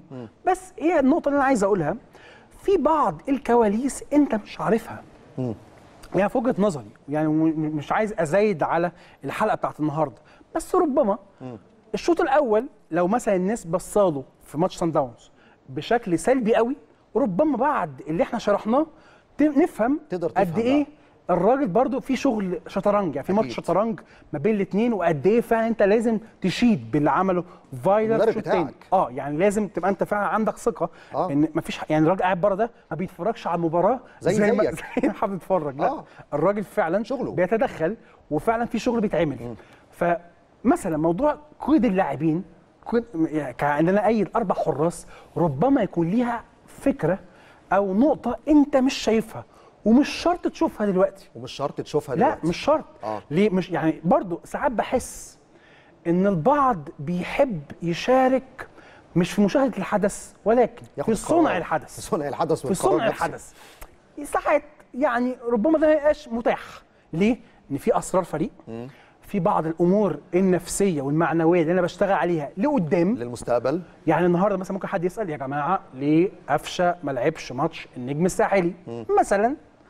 ايا كان السبب. والأخبار تبقى كتير طبعا على المواقع الرياضية وكلنا بن- بنشيرها كله وبنتكلم فيها. وكله بيجتهد بالظبط. والماتش اللي وراه بنشوف الراجل بيرجع. برضه نفس الأمر على كهرباء. ايا كانت الأسباب الجا إحنا لينا الحق. أهو بقول أهو. لينا الحق نقول اللي إحنا عايزينه على ال social media. بس ما تقولش للمدير الفني أو الجهاز الفني يطلع يتناقش معانا هو يقول اللي هو عايزه. هم حرين. وأنا احترم هذا. آه. هم يحترموا آرائنا ووجهات نظرنا وإحنا نحترم ان هم الناس اللي المختصين بالظبط. طيب إحنا عايزين ناخد قرار زيهم يبقى ببساطة نقفل الكمبيوتر ونروح ناخد دورات تدريب ونروح ناخد كورسات ون- ونجتهد ان إحنا ناخد الشهادة C الأول C. وبعد كده ناخد B و A وبعد كده ناخد A عشان نمسك فرق زي الأهلي والزمالك ونبدأ إحنا النهارده منافسين لمدير الفني ونيجي نقعد مكانهم ولما نحصل يحصل ده. شهاده بجد بقى أروح أوروبا. مثلا. آه. لا ما أنا محتاج النهارده فايلر. آه. عشان يوصل للكرسي ده أكيد هو تعب في حياته كتير. أكيد أكيد. أنا ما شفتش ده. درس إعلام حتى من ضمن الكورسات اللي خدها. أنا بقول لأ أنا ما- أنا ما شفتش هو عمل إيه. يعني في في نقط أنا ما شفتها أكيد ما شفتهاش. أنا شفته وهو نازل من الطيارة وجاي مصر يبقى مدير فني وبشوف المؤتمرات الصحفية وبشوف التمرين إذا رحت النادي الأهلي أو بشوفه في التلفزيون. مظبوط. ده أنا شفته. لكن في شغل أكيد هو عامله تعب على واجتهد على نفسه عشان يوصل للمكانة دي اللي تخليه صاحب القرار الفني الأول في النادي الأهلي. وتاني ما بزايدش على حد لأ أنت من حقك تماما. هو أنا برضه أنا راجل social media influencer وبكتب على ال social كتير. من حقي اكتب اللي أنا عايزه. بس مش من حقي ان أنا اناقش المدير الفني واقنعه. في قراره. آه لا وايه وافرض عليه وجهة نظر وجهة نظري. آه آه. أنا أقول اللي أنا عايزه في الح... في المساحة المحددة ليا. بس عارف كمان ياخد قراره الدور بقى. الإعلامي كمان اللي نعم. المفروض نقوم بيه لأن إحنا بالتأكيد مختلفين عن ال social media لما بنبقى. موجودين على الشاشه طبعا وإحنا بنلعب في بطولة إفريقية لازم نشوف قوائم الفرق كلها معانا. ظروفها واوضاعها إيه أكيد. يعني أنا هتكلم على الاستبدال وهكشف لك على حاجة حصلت محدش خد باله منها اتفضل بعرض لك على فرقة سان داونز والقائمه بتاعت سان داونز انت بتتكلم في قائمه خلاص استكملت ب 30 لعيب نعم. لكن عندك أربعة حراس مرمى تمام اثنين حراس مرمى الاساسي والاحتياطي حراس دوليين نعم. سواء آه أونيانجو أو حتى آه موينا حارس منتخب زامبيا لكن عنده كمان اثنين حراس ما بيدخلوش ال score خالص نعم. فبالتالي القائمه من 30 فيها أربع حراس مرمى نعم. طب وأنت بتتكلم على الاستبدال واللي حصل في الاستبدال والقرار الغريب اللي طلع في آخر شهر يناير صحيح البعض قال لك الوداد البعض قال لك الترجي البعض. قال لك كذا المفاجأة إن اللي استبدل الأربعة كان مازيمبي الكونغولي والنجم نعم. الساحلي التونسي صحيح وشفنا طبعا نجم الساحلي فعلا فريق بيعاني وكان فعلا محتاج. أعتقد بس برضه بصراحة محمد الترجي استفاد من الاستبدال حلو استبدل. واحد والوداد واحد ماشي بس استبدل يعني يعني عارف الوداد عمل إيه؟ نعم. الوداد أيد في القائمه الأولى 24 لاعب أوكي فلما جيت أعاقد مع أكتر من 10 لعيبة نعم. أيد منهم ستة okay فبالتالي استكمل القائمه بعد كده لما اتفتح موضوع الاستبدال شال لعيب وحط لعيب okay بس في الآخر إحنا متفقين إن القرار نفسه آه. ما كانش fair لا يعني. القرار غلط. إحنا مش مط... إحنا مش مختلفين على القرار بس الفكرة إيه؟ لازم الناس على ال social media تبقى عارفة طبعا. بعد ما القرار بيطلع وتشوف النتيجة حصلت لفين. طب. ولما بتقارن قائمتك بقائمة أي فريق منافس وعايز تظلم الجهاز الفني بتاعك في القائمة اللي اتعملت لا شوف المنافسين برضو قوامهم كانت إزاي. صحيح. لا وفي نقطة برضه عايز- عايز أقولها يا محمد بصراحة بص الكمال آه. لله وحده. أكيد. كلنا بما فيهم الجهاز الفني الاهلي ولاعيبه النادي الاهلي وأي حد بيشتغل في أي مجال أكيد عنده نسبة خطأ. أنا بس ساعات بيبقى صعب جدا ان انت بتطلب البرفكشن أو الايه الامتياز في كل شيء. في كل شيء. ده أمر صعب. مستحيل. آه، آه، أمر طبعاً. مستحيل. زي بالظبط مثلا إيه قبل الماتش ممكن مثلا كلنا نفسنا بصراحة لو تفتكر في نهاية الحلقة المرة اللي فاتت أنت بتقول لي توقعات. أنا عمري ما أنا توقعت. سايبها لآخر حاجة. أنا. عمري ما توقعت. بس ليه؟ كان نفسي بصراحة نديهم 6-0 بس طبعا ده أمر مش مش عقلاني. أنت قلت كده. هو أمر مش عقلاني طبعا. بس هو ده الأمنية. لكن لما نيجي نشوف الماتش أكيد طبعا الظروف صعبة جدا ليه؟ لأن أنت أكيد عدد الفرص اللي هتتاح ليك أكيد. في مباراة زي دي مش م- هتبقى زي السيناريو بتاع 5-0 سيناريو 5-0 ده بصراحة كان سيناريو استثنائي شوية. وكمان الظروف اللي اتلعب فيها كانت ظروف مختلفة إن شاء الله عن الظروف اللي هنشوفها يوم السبت. طيب في جزئية عندك تانية متعلقة بمباراة الإياب عايز تبدأ بيها أو تتكلم فيها قبل ما أدخل على السؤال الجاي؟ لا اتفضل خش على السؤال الجاي. طيب آه، إحنا بنتكلم في تشكيلة سان داونز مش نعم. هتختلف كتير عن تشكيلة مباراة الذهاب هو بس الاختلاف هي في التوظيف. في التوظيف. وفي والتكتيك بتاع الفريق. طب ان أنا ممكن يغير ميديشا رقم اثنين اللي اتلعب back right ويخش في القلب لأن هو في الأساس مساك ويلعب بليبوزا ولانجرمان على الأطراف؟ بص لانجرمان أكيد هيلعب. هيبدأ. ليه؟ آه. أنت بتتكلم على باك شمال بيطير كتير ولعيب خفيف ولعيب سريع جدا وليه أدوار هجومية. ومشاركته في نهاية مباراة الذهاب تؤكد بنسبة لا تتعدى يعني أكيد مش أقل من 90% إنه هيبدأ المباراة الجاية وأكيد هيبقى عنده واجبات آه، هجومية أكتر من اللي شفناه في ماتش الذهاب. وتاني يا محمد أكتر ما إحنا بنتكلم على أسامي إحنا بنتكلم على أسلوب لعب. أسلوب لعب. آه وعايزك دي, دي أعتقد في وجهة نظري يعني. الطرفين الرباعي بقى بتاع سان داونز هيلعب على كل طرف. أنت بتتكلم على لا يقل عن 8 لعيبة هنشوفهم في نص ملعب النادي. الأهلي. آه. والاثنين مساكين ايا كان مين هم. الاسمين هيبقوا متواجدين عند بالظبط خط 18 خط نص الملعب. تمام. هيبدأ يزنقك. في نص الملعب بحيث إن أنت ما تخرجش من نص الملعب ويقلل دايما مسألة استحواذك على الكورة. طيب آخر حاجة متعلقة بصفحة الاتحاد الإفريقي على ال- الويب نعم. site أو على ال- الفيسبوك قال لك ماميلودي سان داونز آه، في آخر 13 مباراة على أرضه كسب تسعة تعادل أربعة. طبعا. وده. بيديها وما اتغلبش ولا مباراة. طبعا. دي نفسيا أنت بتطلبها كلاعيبة بتشتغل عليها ولا ممكن ده كشغل فني بعيد عن الأرقام ديت؟ بص الجزء النفسي طبعا آه. إحنا اتكلمنا عليه كتير وشفنا قد إيه وحتى أنت الحلقة اللي فاتت شرحتها بشكل جميل جدا قد إيه بيتسو موسيماني حارب حارب عشان الماتش ده يتلعب الساعة 3 العصر. آه. وبالتالي أعتقد الأمور النفسية دي عندنا محتاجين لو- لو نقدر. تخيل أنت بتقول لعيبتك يا جماعة الفرقة دي 13 مباراة ما اتغلبوش نقدر نكسبهم. ودي خلي بالك بتخوف وهدي مثل بسيط 2004 2005 انيمبا النيجيري كان هو غول أفريقيا ساعتها كان فريق مرعب أول نادي قدر يكسر برافو. عليك كان آه. فريق مرعب وأي نادي بيروح يلعبه على أرضه كان استاد غريب جدا كان استاد. واسع قوي وكان ساعتها لو تفتكر كان بيحكم مباراتنا معاهم كيم لي شونج. كيم لي شونج آه بص يا محمد والله العظيم الله يمسيه بالخير. والله العظيم بحلف لك اهو آه. كيم لي شونج في الماتش ده ما طبقش ال offside game ما طبقش قانون ال offside على إنيمبا. آه. إن كان اللعيب بيرجع بيرجع من ال offside كان يسيبه عادي. ومع ذلك جوزيه كان رايح يكسب المباراة دي هناك ليه؟ عشان السمعة. ولو نفتكر ماتش العودة كنا إحنا صعدنا أكيد. وكان إنيمبا عايز تعادل كسبناهم عشان بس ما يخليهمش يتأهلوا لل final أكيد. طيب آخر حاجة طبعا تشكيلة الأسبوع اللي اتعملت أو تشكيلة ال- ال quarter أيوة. final. طبعا أكثر. من لعيب في النادي الأهلي بالنسبة لمباراة الذهاب كان طبعا. موجود في القائمه علي معلول بنتكلم في جايب بنتكلم في قفشة بنتكلم في أكثر من. لاعب. مستوى وأتمنى. ديانج طبعا. آه وديانج بالتأكيد. أتمنى. أكيد أكيد. كريم أنا بشكرك. ميرسي جدا. ولو في كلمة أخيرة. تحب تختم بيها حوارك ميرسي جدا. أتمنى تاني نقطة من إن مشجعين النادي الأهلي اللي بيحبوا يخشوا على ال social media يدوا دفعة للعيبة خلال اليومين الجايين. وبإذن الله بإذن الله مش هنرجع بس بالبطاقة لا نرجع بالبطاقة وبالانتصار إن شاء الله بإذن الله. توقعاتك؟ 5-0 النادي الأهلي لا إن شاء الله. الاهلي الأهلي يكسب إن شاء الله هناك على الأقل الله. 1-0 بإذن الله إن شاء الله. نورتنا وشرفتنا يا كريم وكل التوفيق. ليك ويا رب نكون قدمنا. وجبة تحليلية. فنية للجماهير قبل مباراة العودة إن شاء الله يوم السبت. اللي جاي شكراً جزيلاً. شكرا جزيلا ليك يا. كريم بشكر حضراتكم بالتأكيد على حسن المتابعة والمشاهدة أنا عارف إن إحنا أفورنا شوية عن التايم لكن بالتأكيد يا رب بإذن الله النادي الأهلي يكون التوفيق حليفه في مباراة العودة إن شاء الله يوم السبت القادم ويا رب بإذن الله دعوات كل الجماهير المصرية وجماهير النادي الأهلي في هذه المباراة من أجل تخطي هذه المباراة المصيرية بالنسبة للبطولة الإفريقية عنق زجاجة من أجل التواجد والتأهل إلى مرحلة الدور نصف النهائي. بشكر حضراتكم بالتأكيد على حسن المتابعة والمشاهدة والتقي بكم على خير إن شاء الله في حلقات أخرى قادمة من برنامج الأهلي الليلة. شكرا وإلى اللقاء.